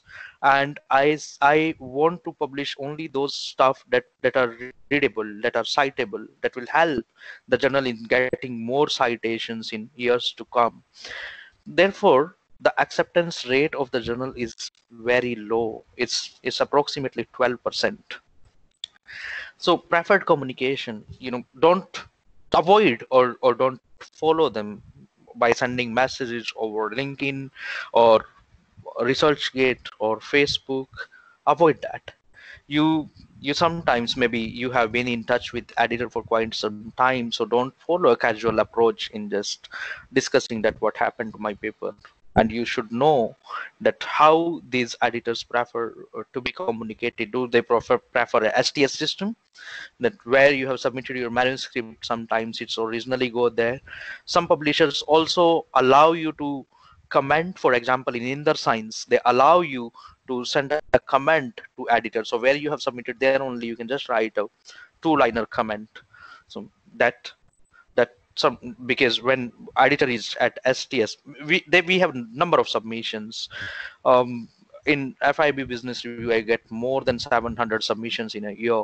So uh, there are number of papers to read. And if you have sent an email it doesn't really recall that okay somebody have sent an email. So when you're working at the sts platform or peer review platform then some a comment you we, we can see and uh, it, it helps to recall that okay this is the paper where i need to look at. And also do not send illogical email. If you want to expedite the process i'm sure that you have a logic behind it maybe for your some academic progression purpose uh, you were looking for um, this favor to expedite the review process. But is it really genuine or you are just trying to push it? You you should know about it. And at a very critical stage when there is a revise and resubmission this is this is very important because this is a chance where editor is little positive uh, i'm not saying that they are going to accept the manuscript but editor has given you a chance. Therefore editor is positive about your paper. This you, you will have to even work more harder than what previously you have done because in any way you are not going to uh, miss this chance now. So when you are responding to the reviewers this is how you're going to win reviewers they may have some common suggestions and they may have some different suggestions. So always try to divide your response letter into parts. And this i i do i uh, as as author myself i divide all the comments into general and then in, bring them into chronological order one by one. So i'm not speaking skipping a single comment that has suggested by the reviewers or editor. But in in the common um, you know, place common suggestion i always put that okay major observations were related to either structure or theorization or methodology and this is how i have overcome these. However the detailed responses are given in next section. And there we we you you can present your comments that this is reviewer one reviewer two reviewer three and then comments. What reviewers do not like is one liner comments i've seen in most of the response letters being reviewer also myself and i'm sure that my lot of colleagues have also experienced that sometimes author give a single liner comment saying incorporated it is done it is not done okay done. Do not avoid that. Give a detailed response. Tell them that okay this is what i have done. This is where i have done this is the line. This is the paragraph where it is done. And there is a lot of chances that when you're submitting your revised manuscript reviewers are looking at the revised portion that you have done. And then they are trying to match that okay how the manuscript was previous and how the manuscript is now. So you you should focus equally on preparing the response letter. So your efforts need to be double this time. One need to be invested on improving your manuscript, and the similar effort need to be um, given to uh, prepare the response letter. And you, as I said, that you need to give a detailed reply, acknowledge their uh, constructive feedback because you need not to take it personal because editors want reviewers to give critical comments on the manuscript and that is their job. Uh, reviewers look look at your manuscript in terms of what weight this this this is carrying what um, rigor scientific rigor or domain rigor the manuscript have. So their job is to give you the constructive comments and being critical to the manuscript. So you need not to take it personally. You will have to their efforts that this is a job they have um, taken out their time. They have given some suggestions to your own research. You should be thankful to them. So acknowledge them and acknowledge their efforts. Give them uh, thank them and respond to each of their question uh, you also if, if you really want to understand that how do the reviewer think what are the things that reviewers expect uh, as peter and wong they both have suggested you really need to become a reviewer. If you are a reviewer yourself and especially in the journals that you're targeting and reading you you would understand that how the evaluation pattern in that journal look like how what is what is the uh, average uh, acceptance rate in the journal because the journals also send an email uh, to reviewers that what, what was the action taken, whether the manuscript was accepted, not accepted, given major revision, minor revision. You can you can see it. You it comes under the um, action by the editor. So from there you can have observation that what what is going on with the number of submission that you're getting.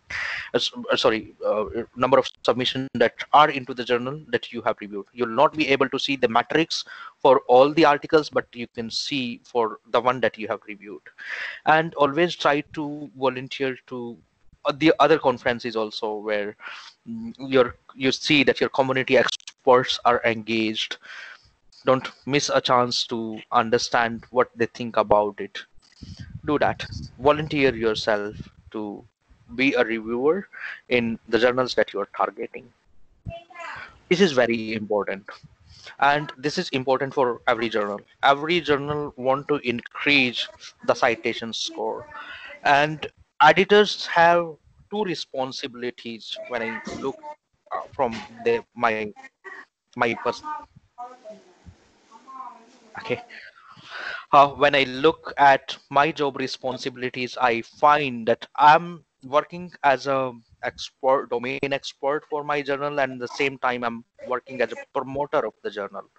So the authors who are acting in creating the impact of what they have published in my journal. For example,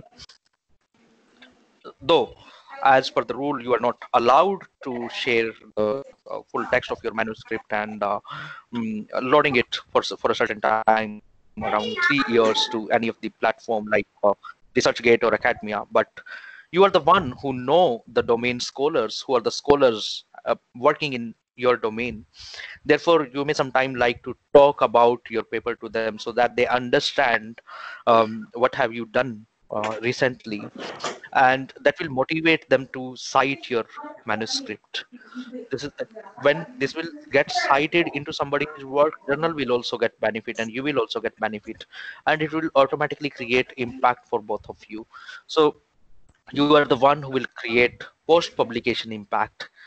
And also you may like to talk about the process that um, okay this is this is the process that uh, process was smooth. You got uh, healthy comments from the editor. So you are the one who is going to give a word of mouth about the journal and specifically when journals are at infancy stage. Uh, one thing when you get a revised manuscript you can acknowledge the uh, efforts by editors and reviewers. You can do that. However most of us we forget to acknowledge uh, the effort that they do but you can do that you need to be persistent. Keep on trying. You need to refine your work. That is very important. You may also like to collaborate with the scholars who have more experience in understanding the review process the publication process into the scientific journals scholarly journals and support each other by reading their work by giving them constructive feedback. That that will help. And you will soon get many acceptance if you follow some of these advices. Have fun. I shall be very happy to answer if there is any questions. Thank you so much.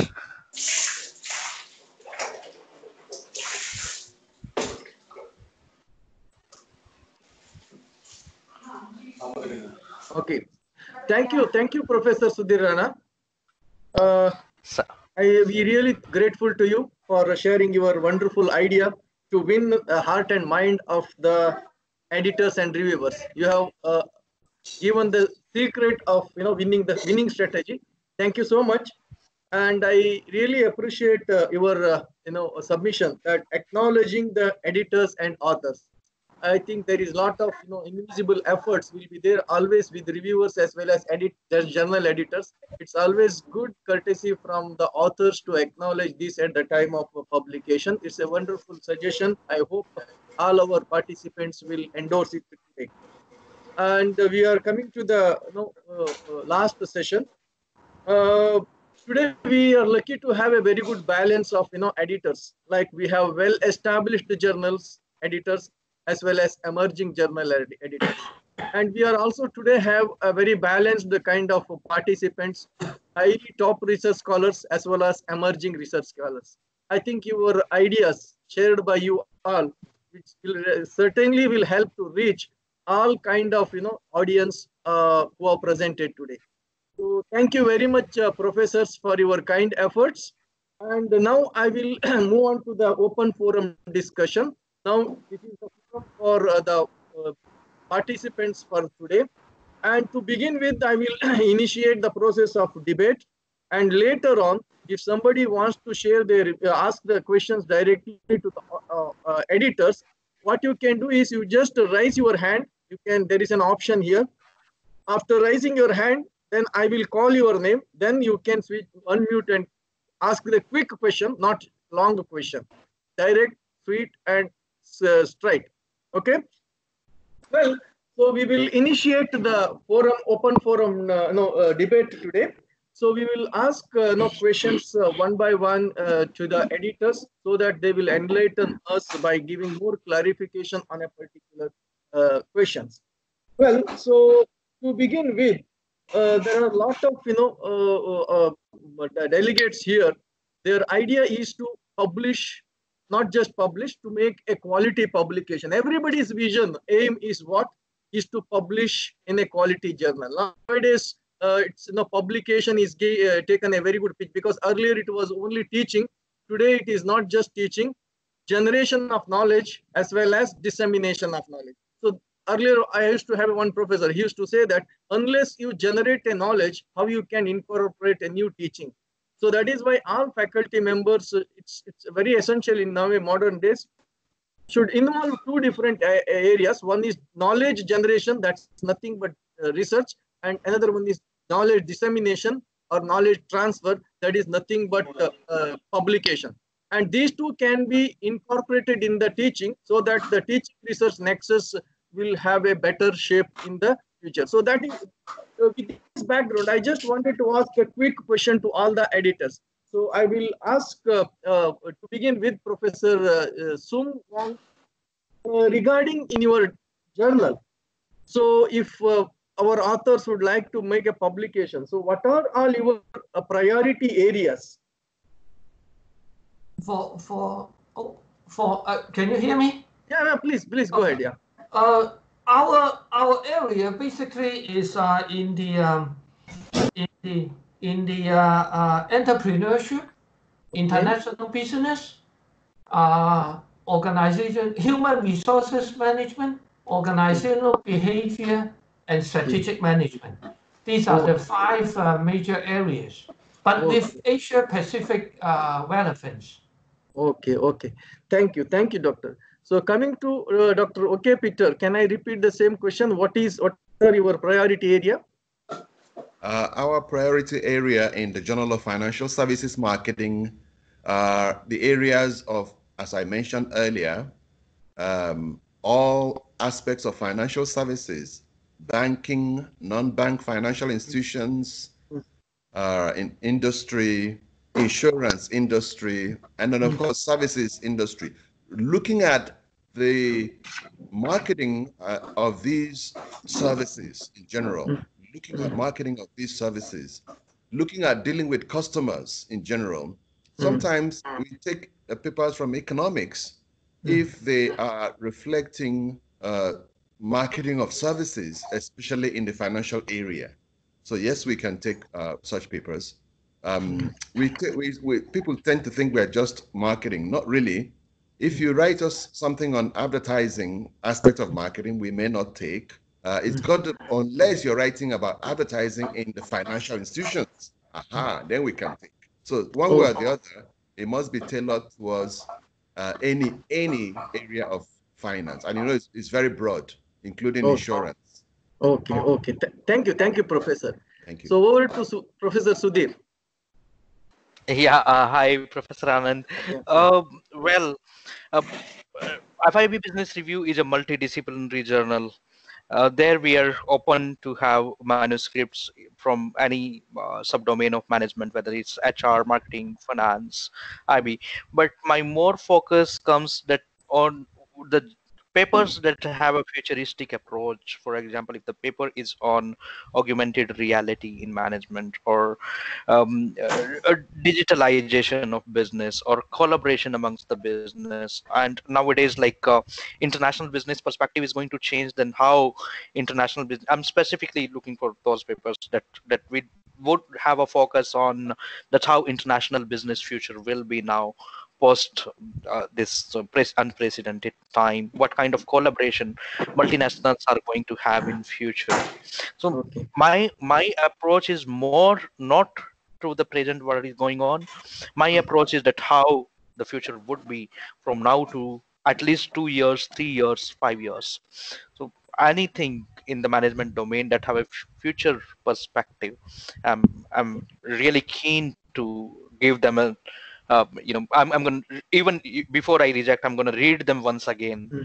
that okay. okay. is it something that i'm going to miss or can i give them healthy suggestions and this manuscript can be taken to the next level of review okay. So, right right thank you thank you thank you professor so i'm asking these questions on behalf of uh, our august audience so there is a you know, concept that uh, when I publish an article in uh, maybe uh, Professor's uh, journal or maybe uh, Mr. Dr. Okesh's journal, so the, uh, is there any like you know geographical priority for publication? Like if you give preference for the publication which comes from X geographical local area or Y geographical area, is there any kind of geographical preference for publication, Professor Sum? In, pardon me, I did not hear clearly. Can you uh, repeat your question? Yeah, my question is, uh, in your journal, do you have any geographical preference for publication? Like, for example, a paper comes from a particular geography, research comes from particular geography, you will give no, preference. No, we, we, we don't. Uh, it is the paper itself. As we said, we need to, uh, with Asia Pacific relevance. So we broadly define it. So uh, uh, if your samples, okay. if it is an empirical study, is okay. in uh, Asia or Australia, New Zealand, then it is okay already. However, okay. mm -hmm. as I said, if the topics mm. have some relevance for the mm. Asians, mm. then it is still okay. Like as I, I cite the examples, uh, you are studying the second generation, for example, of the Chinese in okay. North America, entrepreneurs, okay. how are their behaviors and so forth. There's okay. still Asia relevance. So our key keyword is uh, Asia Pacific relevance. So in fact, our our authors uh, mm. come from everywhere. North Americans, Europeans, Asians, of course, the majority and so forth. But it is the topic itself whether right. it has Asia Pacific relevance. Huh? Okay, thank you, thank you, Professor. Okay. Yeah, okay. yeah, Professor, okay, please, yeah. Yes, um, well, the Journal of Financial Services is an international journal. It doesn't have any geographic barriers in terms of where the paper is coming from or where the study is located, the study location. Yeah, but uh, our yeah. scope is hmm. the disciplinary areas I mentioned. Hmm. Our scope is I request all I, I request all the delegates please switch off unmute yourself. Yeah. Okay. Yeah. all right. So our uh, the only restriction, the only scope we have is the, the disciplines. So services marketing in the financial area. And as I said, financial area could be banking, non-bank institutions, allied institutions, you know, uh, stock market, anything to do with money and, and funding and finance and insurance, which of course insurance has to do with finance as well. So that's the uh, our scope. Uh, but in terms of geography, it can come from anywhere. It can come from Iceland. It can come from Antarctica. It doesn't matter. Okay. Thank okay. You. Thank you. Thank you. Thank you. So, uh, Professor Sudhir, you have any specific uh, preference? Uh, well, I, I just would like to say something here about the infancy stage journals and especially the journals that have uh, that are yet to complete their first 10 issues uh, first 10 volumes. Uh, journal editors have to maintain diversity amongst their authors in terms of geography and it is being reviewed by many indexing agencies. So maybe like my colleagues they, they are not yet focusing on any special uh, geographic locations. Though what what the best strategy for an author can be that if you find that journal has not yet published or there are many uh, uh, less less papers from the country from where the author belong then chances are quite quite fine that editors are are going to though they they are not location specific and specifically international journals are not location specific. And they also do not get any bias that from where do you belong to. But to maintain the diversity sometimes there can be a chance that if you are you're coming from a new geography new location you can be given a chance at least to have a R&R that that that goes only only with, with the journals that are yet Okay. uh, you know growing up Okay, fine. Okay. Okay, thank you. Thank you, Professor. So coming to our next point, uh, you know that uh, for any quality publication, there is a big role of reviewers because the reviewer will make a critical uh, review on the paper and he will make suggestions and he, his role is really great in making, in bringing a quality paper. Now my question here is, you as a journal editor, you from your side, uh, will you uh, partner with somebody to train the reviewers because uh, reviewing is a kind of skill right? right right writing a paper is a kind of skill similarly reviewing a paper is also skill so in case if somebody want to take an initiative so what is the kind of support you will provide to train the reviewers uh, professor sum please Uh, I I think I'm uh, I'm a little bit lucky because uh, I graduated from uh, Purdue University. I don't know whether you know about. It's in uh, USA, Indiana. So Purdue University is a very quantitative, very systematic approach. So uh, when I studied as a, a, a, a doctoral student there, my uh, my professor actually is the editor in chief of the personnel psychology. So one of the top tier journals. So uh, uh, we, we are trained up uh, to review a lot of papers. That's part of our methodology class that we review papers every every uh, every every week. So we got a, a training there, and then I I was lucky that I served on the uh, editorial board of the uh, Academy of Management Journal for six years. So Academy of Management Journal, I don't know whether they continue or not. They have a very detailed instructions for the uh, uh, reviewers. So like uh, uh, even in uh, writing, uh, they will say that uh, uh, don't use the author. Say you. That means uh, I'm communicating with you. So in our response, our, our comments to the authors, we don't say the offer said. We said that you on page one, you you say this, and and and and I have this comment. So they they have very detailed instructions concerning a kind of personal conversation. Of course, uh, being polite. Uh, even though you're very critical, you need to be polite, and and so forth. So uh, I, I still keep that instructions, a list of uh, more than three pages of it. So I, I gave it to the uh, to the reviewers of the uh, uh, APJM as well as a kind of tradition, but we we do not have a systematic uh, training apart from that. But of course, I, I know that it is it, it is a very important thing we need to learn to reviewers. Unfortunately, a lot of us uh, may not have the kind of uh, uh, uh, as, as me that I got those uh, kind of training.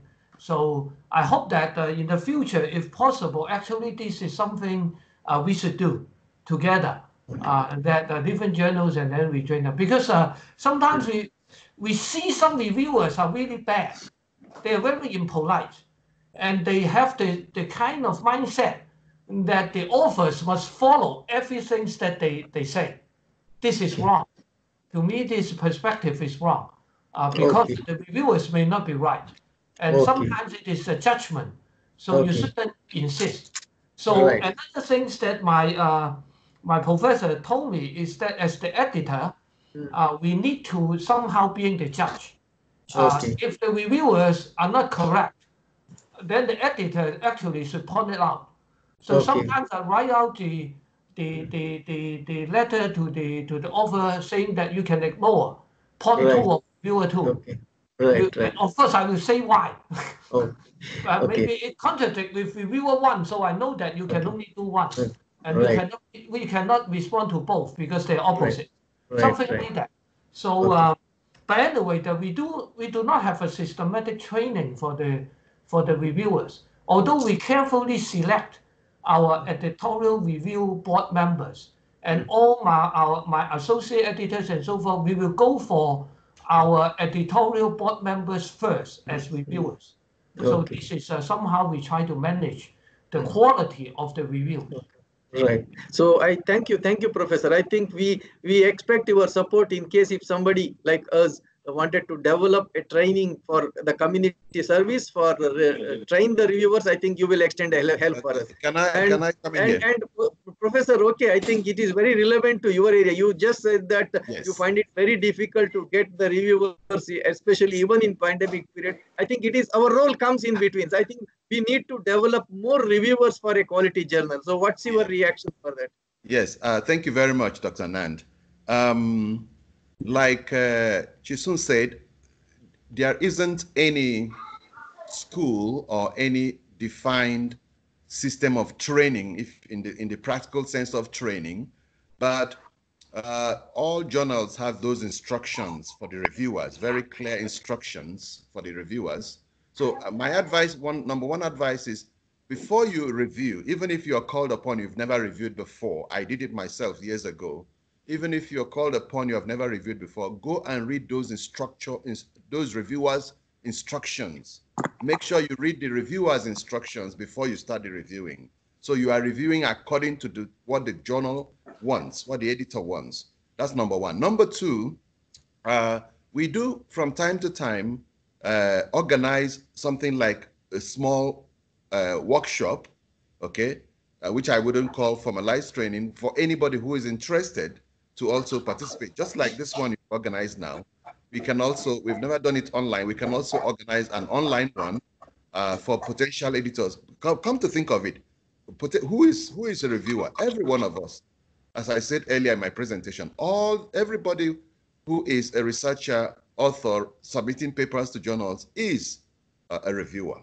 Okay, so now having said that, the first thing is yourself to train yourself, self-training. Read those instructions from the different journals. And any journal you can get a review request from any journal, please read the instructions before you start uh, reviewing. That's that, okay. That's two. The third one is there is this um, publisher, this database publisher, Elsevier. Elsevier has an online training, about seven hours, online self-training. I call it tutorial that you can go through uh, in self-tutorial online by Elsevier to to sort of train yourself. So if you want to be a reviewer, and I say anybody can be, uh, is first of all is the interest. Show the interest to know, uh, even if you haven't started, to go to different websites of different journals and read up their reviewer instructions. Then, anytime you get uh, requested for a review, please make sure you read the instructions for that particular journal before you start reviewing. And and and lastly, um, the important thing is discipline. Try to have discipline. Remember that you too are an author. Don't just dismiss people's thoughts and people's ideas and people's arguments. And, and don't do it just for the sake of it. I realize that these days, something I realized recently, these days, a lot of uh, reviewers are reviewing just for the benefit of getting a reviewer certificate. So the moment you, you ask them to review, they'll ask you, will there be a certificate? And, and you, when you look at the quality of the review, it's nothing to write home about. They're just interested in that certificate. So if you want to be a reviewer, please do it with your mind, do it with your soul, do it knowing that you're helping to improve the paper for the quality of the journal.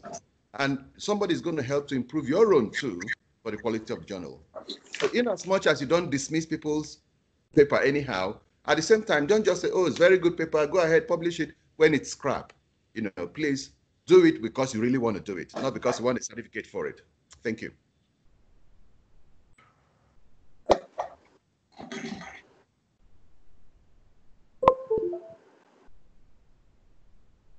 Thank you. Uh, uh, Dr. Nan, check your check your microphone. Check your microphone. Okay, okay. Thank you, thank you, thank you, thank you. With your support, I think we will have a similar program in the near future. drop it in I kindly request Mr. Senthil, can you please, can you please switch on, switch off your mute your, Mr. Senthil? I request all of you, please mute your. Okay.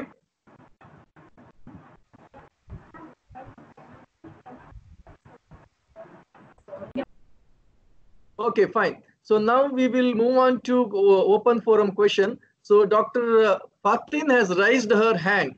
Uh, can you please unmute and talk? Yes, uh, thank you very much for the uh, informative session. We have learned a lot uh, uh, during this uh, uh, one hour and a half, probably. I have a question regarding the methodologies. Uh, I noted that many journals are actually interested in uh, uh, scientifically proven methodologies to ensure that the uh, theory is matching the, uh, or the, uh, the theory is kind of uh, uh, confirmed let us say. So there is the confirmatory factor analysis, which is the structural equation modeling. And then we have the partial least, least square. So I've noted that some journals, they are insisting on the CFA because it's more of confirming the theory rather than reinventing the theory. So is there is any preference with reference to the uh, methodology, specifically when it comes to, uh, you know, uh, with, uh, with the theoretical underpinnings, there are differences between cross country, cross country differences. So there are uh, different aspects that come uh, into perspective. My second question is regarding uh, single country studies, because I have noted that some journals are not interested to know about single country studies. Uh, they would like to have, for instance, like OIC countries, non-OIC countries, developing countries, non-developing countries, emerging markets, and you know, like a comparative kind of uh, analysis. So uh, what happens is during the COVID-19 situation, uh, for instance, in Oman, we have uh, the stock market is doing well for some reason. We don't know why. So it's interesting to have single country analysis that can actually help international investors. So uh, I, I, would like to know if, uh, you know, uh, this is considered into mind when evaluating accepting or not accepting the journal. And my, yes, that's the, these are my questions. Thank you very much. So you are addressing questions specifically to whom? Yes, with reference to the structural equation modeling, since uh, Prof. Uh, uh, Wong have mentioned about structural equation modeling, and I actually have used it for my PhD, and I found it very, very rigid. You know, CFA is very rigid. I had to meet the theory. I had to really, really meet it, and I collect data, collect data again, just to meet the theory. So uh, I know that um, it might, might be a question. With reference to the single country, I'd like to uh, address it to uh, Dr. K, if it's possible. Yes, Professor. Okay, yeah. For the for the methodology, I think that's straightforward because we are not saying about the um, we we prefer a particular methodolo methodology. It, it is not the case. The important thing is I like to use the word appropriateness. Is your your your research question and also your data that match with your statistical analysis. For confirmatory factor analysis, basically it is to check whether your measurement has done reliably and valid. So if your data is not reliable and valid, how can you go ahead to use the data to test your hypothesis. So once you use, uh, uh, if I, I, suppose when you use uh, CFA, then you must have multiple items of measure of different construct, right? So if they are established the measurement scale, then they should conform to the required reliability and validity standards. So you must do it. If your data cannot achieve the acceptable standard, that means there is something wrong with your data. This is why you think it is painful, but it is necessary because you haven't demonstrated your data is reliable and valid enough to test your hypothesis.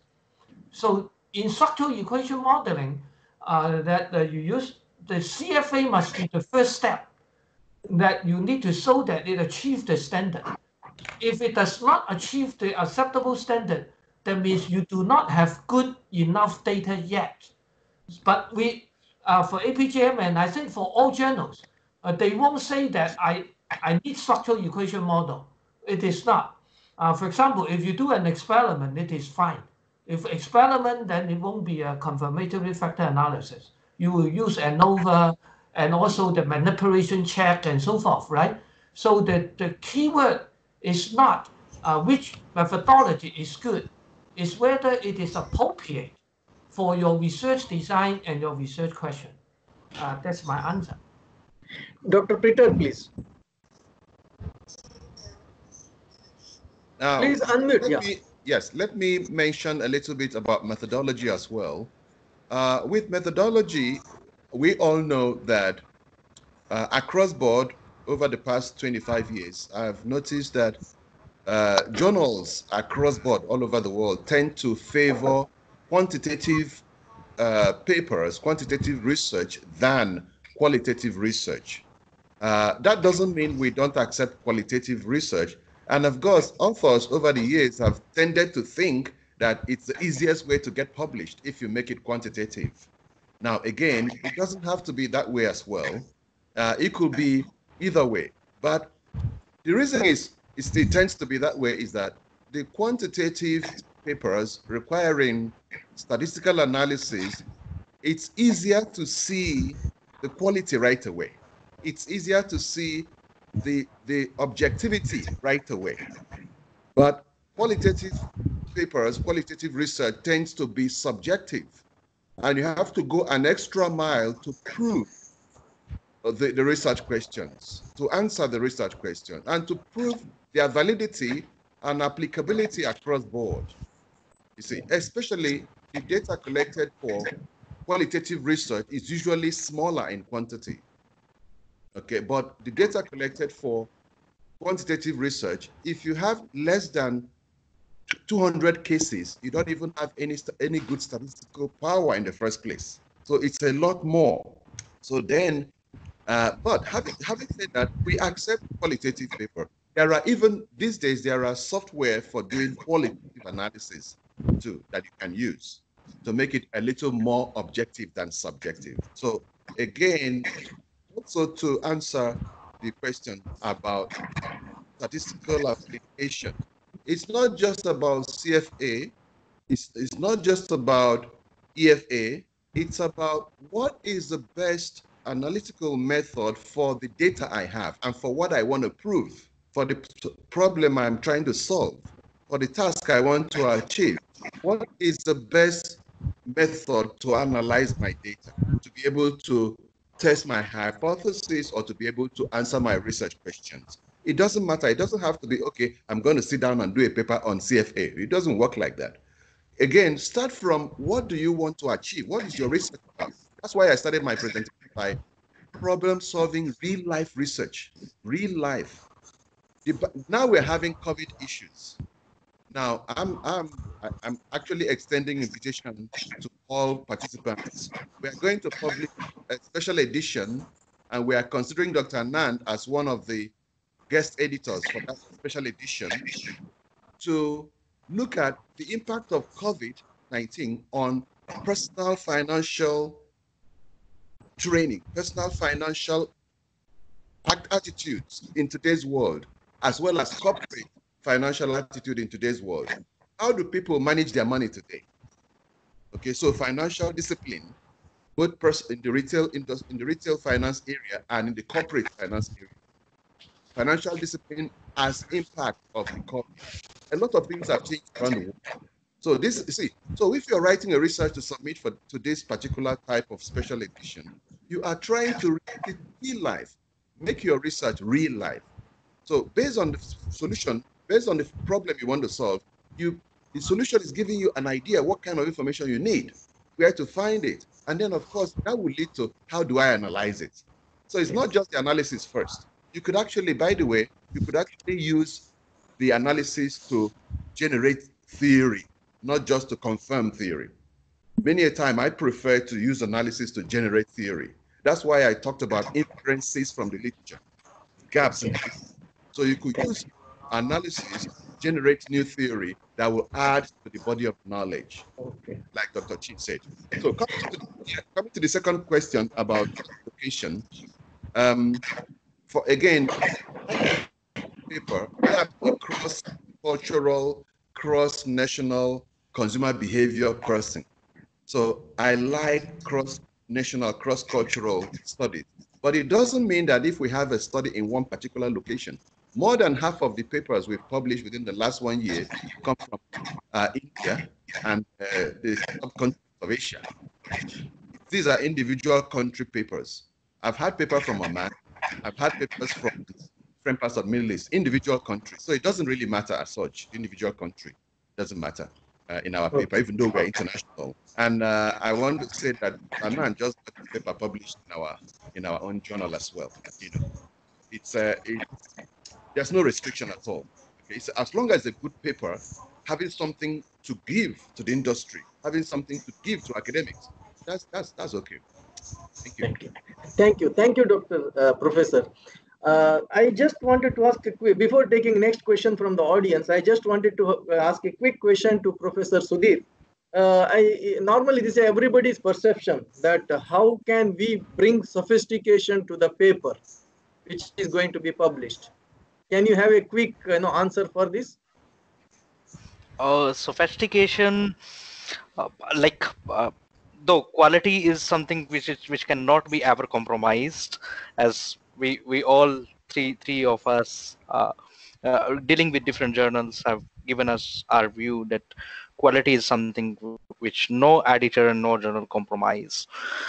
But bringing in sophistication like like i said that sharing some of the uh, additional files regarding your data, regarding your uh, transcripts that can help editors uh, taking a decision will, be really great. And having acknowledgements uh, about the reviewers, editors, uh, acknowledging their previous papers is something that brings sophistication level uh, in, in a manuscript. So I think that when you are submitting a revised paper, acknowledge their efforts, acknowledge that okay this is this i skip doing or thank you that you uh, given me this chance that i could relook to the point that i missed out Okay.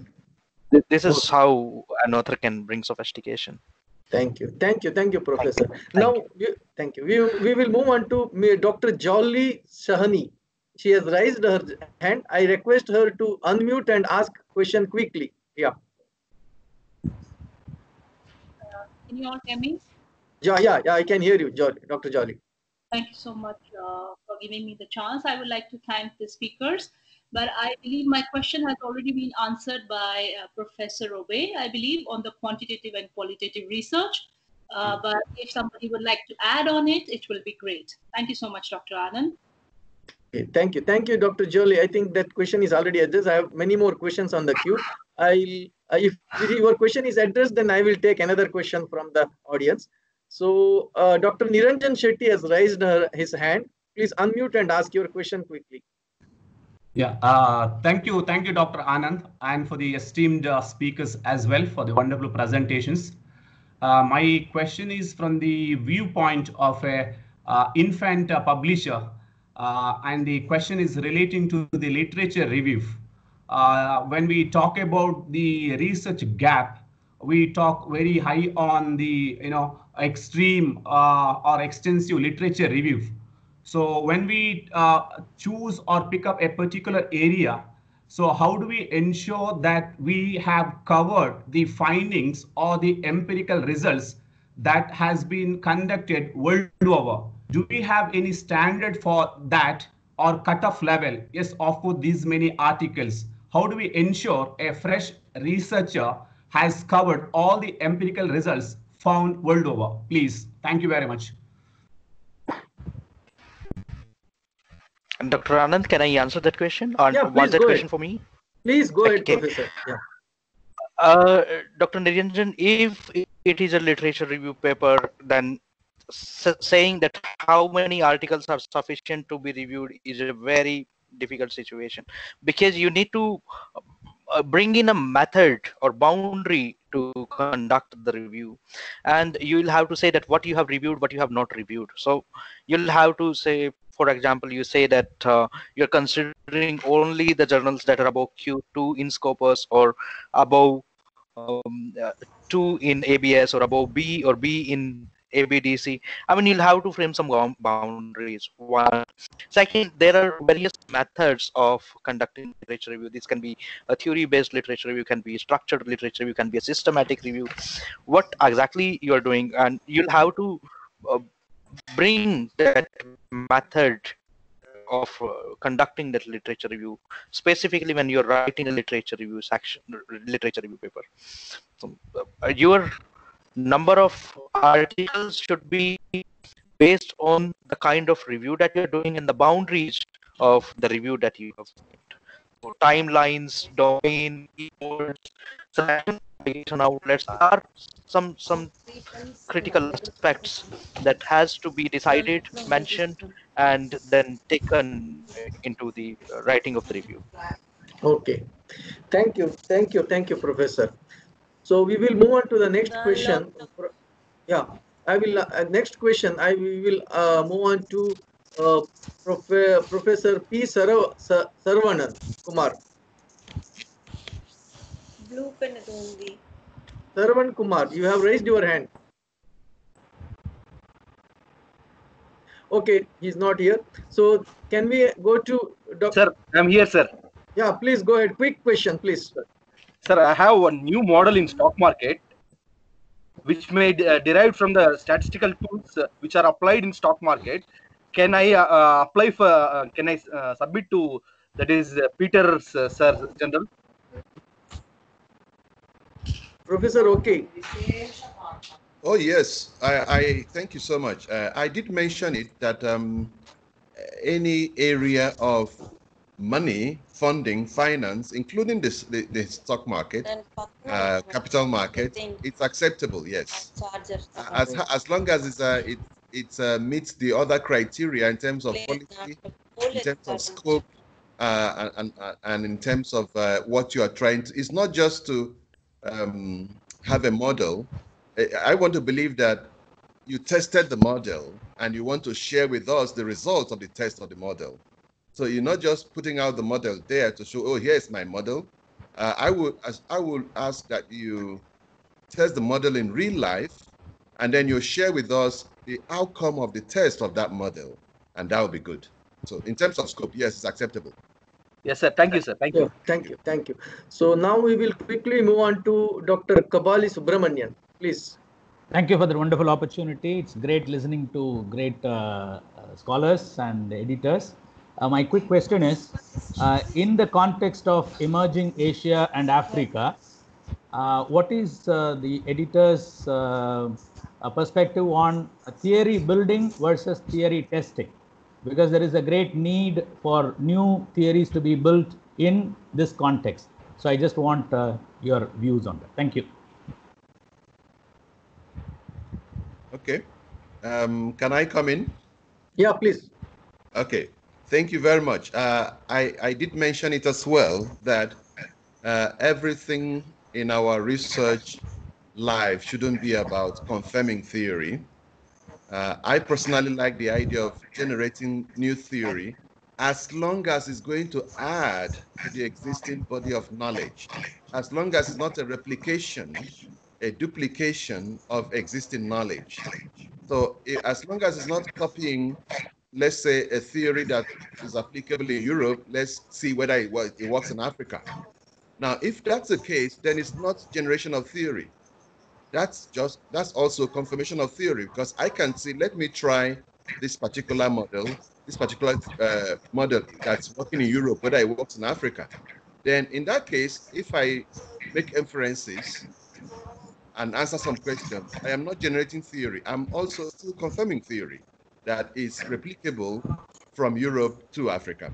Now, generational theory is when you look at a real life situation, a real life situation. For instance, now, COVID 19 is new to us. The impact of COVID 19 is new to all of us. Nobody expected, even by the November 2019, that we're going to have this kind of pandemic that will mess up the entire year 2020. Now, our year 2020 is turned upside down. Now, it has impacts in all areas.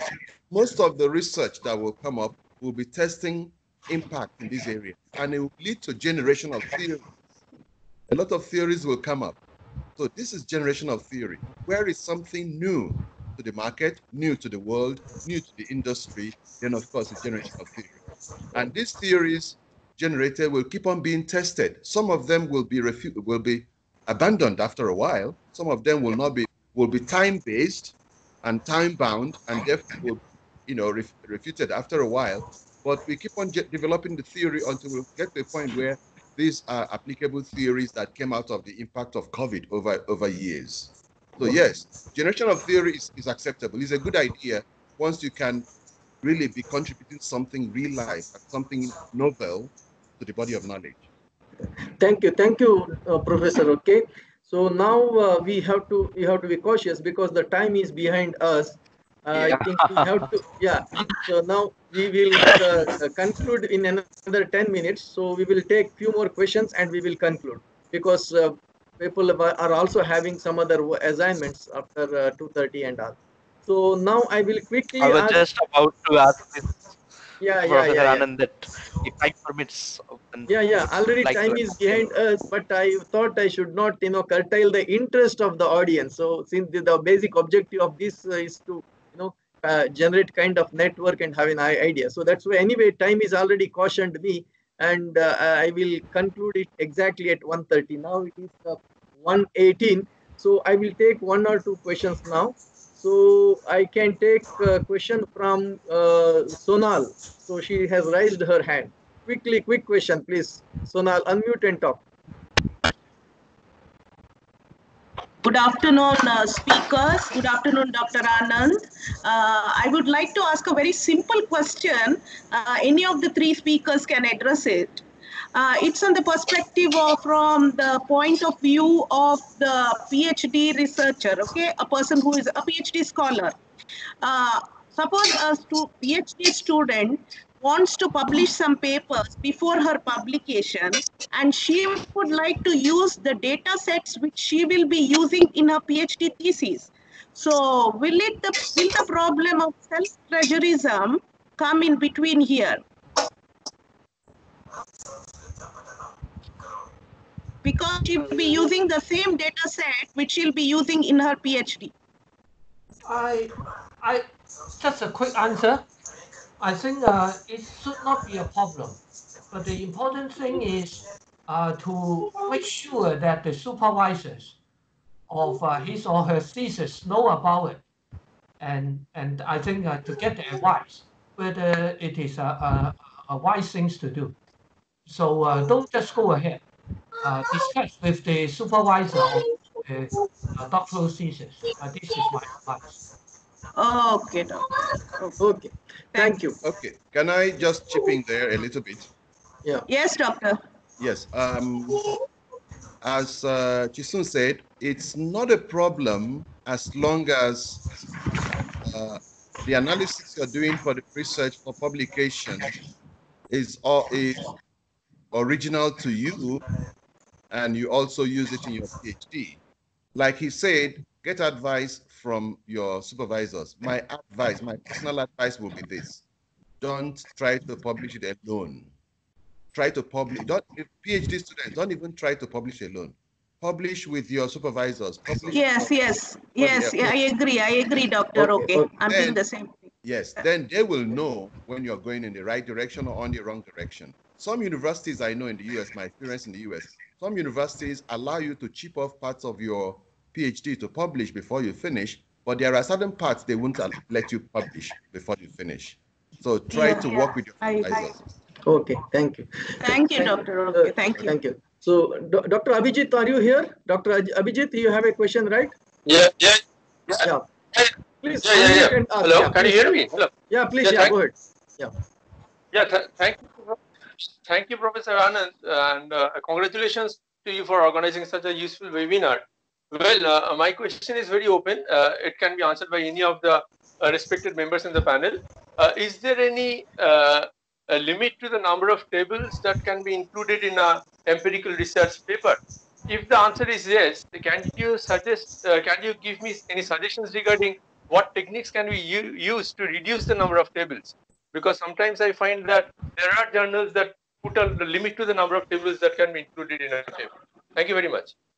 Dr. Sudhir, can you please answer this? Yeah, as I said, it is not about the numbers, Professor. It is about what is relevant. So, you know, what is relevant should be there. What do you think that can be clubbed, merged with other tables, and can be made one? So you necessarily not need to make too many tables, but it is not about numbers. It is about what is relevant to be presented in the paper. Okay.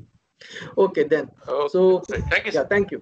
Thank you. So, can we just take uh, last two questions? Dr. Ko- Kodandaraman, you are you there? Yeah, yeah, yes, sir. Yes, sir. Please, yeah. Sir, uh, thanks for organizing wonderful program and thanks, uh, Dr. Anand, sir. My question is to uh, Dr. Peter, sir. Is regarding what is your uh, humble, what is your suggestions to an experienced teachers who are new to publications? They may be good teachers but never publish. What is your uh, suggestion to such a teachers? That's a question to Dr. Peter. Okay. Um, thank you. Thank you very much for that question. It happens uh, every time. Sometimes I've had experience of being in a university uh, where it's more more teaching oriented than research oriented, and and I was asking them. I nearly got into trouble when I asked the dean, "How can we have a business school and we don't have research?" How can we have a business school and there's no research? It's all about teaching and teaching and teaching. This was in the US.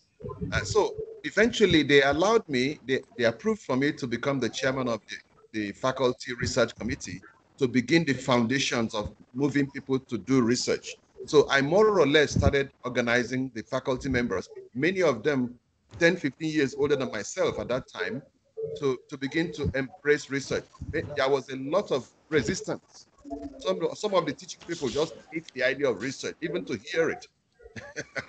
so so I, it, I, I was very sensitive in carrying them along.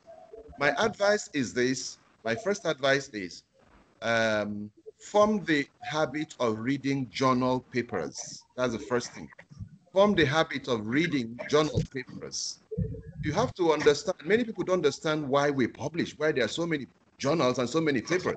Since they keep on asking, who is reading all these things? Form the habit of reading journal papers. Form the habit of using journal papers in some uh, coursework, coursework assessment as teachers.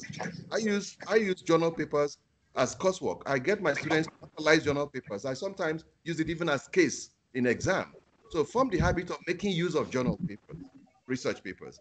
Form the habit of getting the students to think in terms of research form the habit of reading journal papers. Then you begin to have the drift of how to publish. Go back and look at your PhD dissertation again, if you did a PhD, or your master's dissertation. Look at the structure of doing a research and why we do a research. Thank you for this You- you enlightening yourself again. talk. At the review, I, I just want to ask uh, the dividing line between the mind. Somebody speaking. Hello. So, so try to try to refresh your mind on why we do research, not just because somebody's asking you to go and write a paper and publish. Make it a way of life. Read the articles, find out what they are solving, find out the tasks, find out the objective, find out the hypotheses they are testing, and then you, after a while you begin to see the importance of doing something yourself. And lastly, the last point is it: don't go it alone. Collaboration, collaboration, collaboration with colleagues. You can learn together. You can move together. Collaboration, even inter inter university collaboration, even international collaboration. I've got collaborators in, in, in, in India. I've got collaborators in in Edinburgh, in Scotland. I've got collaborators anywhere. Just collaboration is very important to learn and move together. Okay, thank you. Thank So you, I we will go for last question. and then we will wind up the session. Dr. Omar Ibrahim raised the hand. Can you please uh, quickly ask the question? This will be the last question. Thank you for this uh, enlightening talk. Uh, just as a reviewer, I just want to know the dividing line uh, between the minor and the and the major major correction. Uh, from your experience, what is the dividing line uh, between the minor and the major correction as a review? Thank you. Can you please, uh, Sudhir, Professor Sudhir, can you please come in? Yes. Um, uh, thank you so much. That that's our uh, beautiful question that I have learned here. Major when when I decide as a reviewer myself or editor that it's a major revision when there are number of sections and in almost every section I have some suggestions for the author and like there are five different sections in general in a manuscript. Four of these or five of these need some correction somewhere then it's major. And when i see that okay four looks good only one section is where some modifications are to be done then it's a minor. So you can see that how many sections are there in the manuscript. So if majority of the sections they need revision then it's a major revision. Hello. Please.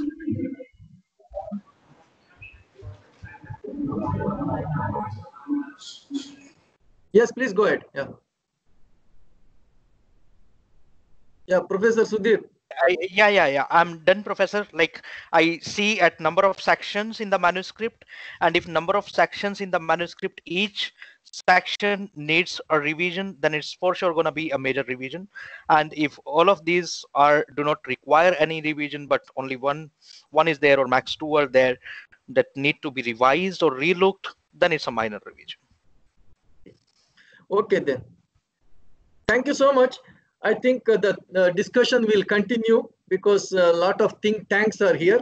I think it is uh, time to conclude now. So the best part is I remember Bernard Shaw's saying, when I have an apple and when you have an apple, when we exchange each other, at the end of it, each one will be having only one apple. But when I have an idea and you have an idea and each one of us exchange it and each one will be having two ideas. I think uh, it's a wonderful session a lot of people exchange their ideas. So their uh, the bank of idea now multiplied. I think the outcome of our today's uh, discussion may result in quality paper in the years to come. And this is only a beginning of the relationship. I think we will have a continued relationship and do wonders in the near future. So with this, I invite my colleague, uh, Dr. Ahmad Al-Hadi for uh, concluding remark. Dr. Ahmad Al-Hadi, please uh, switch on mute, unmute and talk. Okay, thank you, Dr. Anand, and thank for everyone in the uh, today presentations. And uh, we don't have time actually. We are running of time. Uh, it's 30 minutes more. And I know all of you have a commitments and uh, and also the guests. Uh, I would uh, conclude in very two. I think in very short time. I just make a two minutes conclusion. Uh, uh, what we can say uh, today with you know a giant editor with us. nothing from my scope here, not not nothing from accounting, but you know it's really a very interesting discussion today, and uh, would say. Uh, uh, I can say we scope of the journal is very important sport of the scope of the journal is very important and uh, following instructions, uh, which I think always is not fit. Uh, I can say a journal ask for 8,000, but I in most my paper I submit 12,000 and 13,000 and goes through. and uh, and also uh, understanding the balance between theoretical and practical uh, side is very important. Understanding your data sets is very important. I would like, uh, I think next time we can also discuss the uh, producibility of the data sets. No one discussed this. And, you know, we can see many paper now in A-stars uh, rejected due to um, uh, less of producibility. I have recently one paper in RAST, Review of Accounting Study, and and this is top top tier, uh, top three accounting, and one of the top actually. And the ask the editor, uh, uh, Daju, uh, she said uh, to me, "Can you repeat also the analysis uh, base, yearly basis? So we have to do it on you know, sample selection plus day, you know, yearly, annually basis analysis. So to make sure that the producibility there." And many journals now nowadays they ask for also uh, to submit their data sets because in many human studies they have surveys analysis and they keep their study for them. No one can share it. In accounting, we are purely, you know, uh, all the data is publicly uh, available and no one can, you know, play around. Uh, and this is one also issue in future we can consider. And uh, also uh, the importance of the journals to coming from university, like, you know, uh, Academy, Asian Academy or National University of Singapore. They have, or like for example, International of Accounting come from K, you know KPMG Center and Champaign, uh, you know Urbana Champaign University of uh, Illinois. So uh, it all it's come from the publisher itself, like Emerald. They have their own journals. Uh, it's not linked to any institute or academy. Uh, this is also a good question we have to consider in future. Uh, uh, like for example, accounting reviews come from American uh, Triple A, and you know uh, also uh, other journals linked to that, Journal of Finance as well. So uh, uh, very uh, also Dictor uh, Dictor one also and Dictor Peter discussed the training for reviewer, and we can see very bad experience. People they just publish one paper because of the supervisor with them then they become a reviewer in a good journals in future. So, and they really uh, have nothing to do more than data collection, and uh, and therefore uh, this is also, uh, I think, collaboration to come up with the training and review uh, or developing uh, training courses accordingly, you know, as a college and with you know this you know giant editor, it's really potential forces for the journal at least. I think this is in overall uh, uh, the most comments we can conclude. Uh, would like to thank Dean uh, for his uh, permission and you know encouragement, and Assistant Dean Dr. Fatna as well, uh, Marketing Department, Oman Economic Association, and the three giant uh, presenter, Professor Wong, uh, Professor Peter, and Dr. Rana, and the moderator, Dr. Anand. And uh, I think uh, if we can see you online, I am sure in future we can see you physically here in Oman one time. And thank you very much for today class. And it's really a class, and it's really a class for us. And uh, the contact and the record, it will be available and they will be sent to your email all from Dr. Anand and so you can also uh, you know uh, watch it uh, when available for the guest and for the speaker as well. Thank you very much. Thank you. Thank you, Dr. Ahmad. I think this is the end of the today's session. I think uh, it's a time to say goodbye, but uh, it is not the end of the relationship and it is the beginning of the relationship. I think hope to see you soon with many more activities. And I thank uh, Professor Sum Wong, Sum Wong and uh, Professor Okey and Professor Rana. You are the uh, batsman here today. You have done a wonderful job. I think you have enlightened all of us. So I, uh, on behalf of the college, I thank you. And I also thank all the delegates uh, who have made this program you know, successful. So we will Thank you. look forward to have a long-term relationship with you all. Our time is now to say goodbye. Thank you. And Thank you so much, Dr. Anand. and namaskar. Dhanyawad. See you. Thank you. Thank you so much, Dr. Anand. Thank It was good to see Professor Wong again and meet Professor Yes. Okey Peter. This Thank time. you. Thank We'll you. look Thank you. forward Thank you so much. Thank you. This is Dr. having many Lata. more May I please wish conversations you together. all Thank you, advanced Professor. Thank you. Thank you. Thank you. advanced Eid. Thank you. Thank you. Thank you. Thank you, sir. Happy Eid. Thank you. Thank you very much. Eid Mubarak. Thank you. Eid. Thank you, sir. Thank you. Thank you.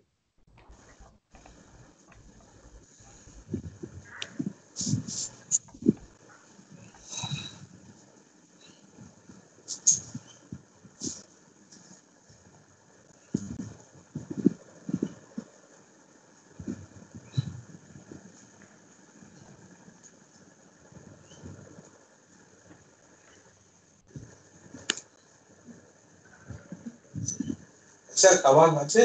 না বাইরে থেকে আনতে হবে।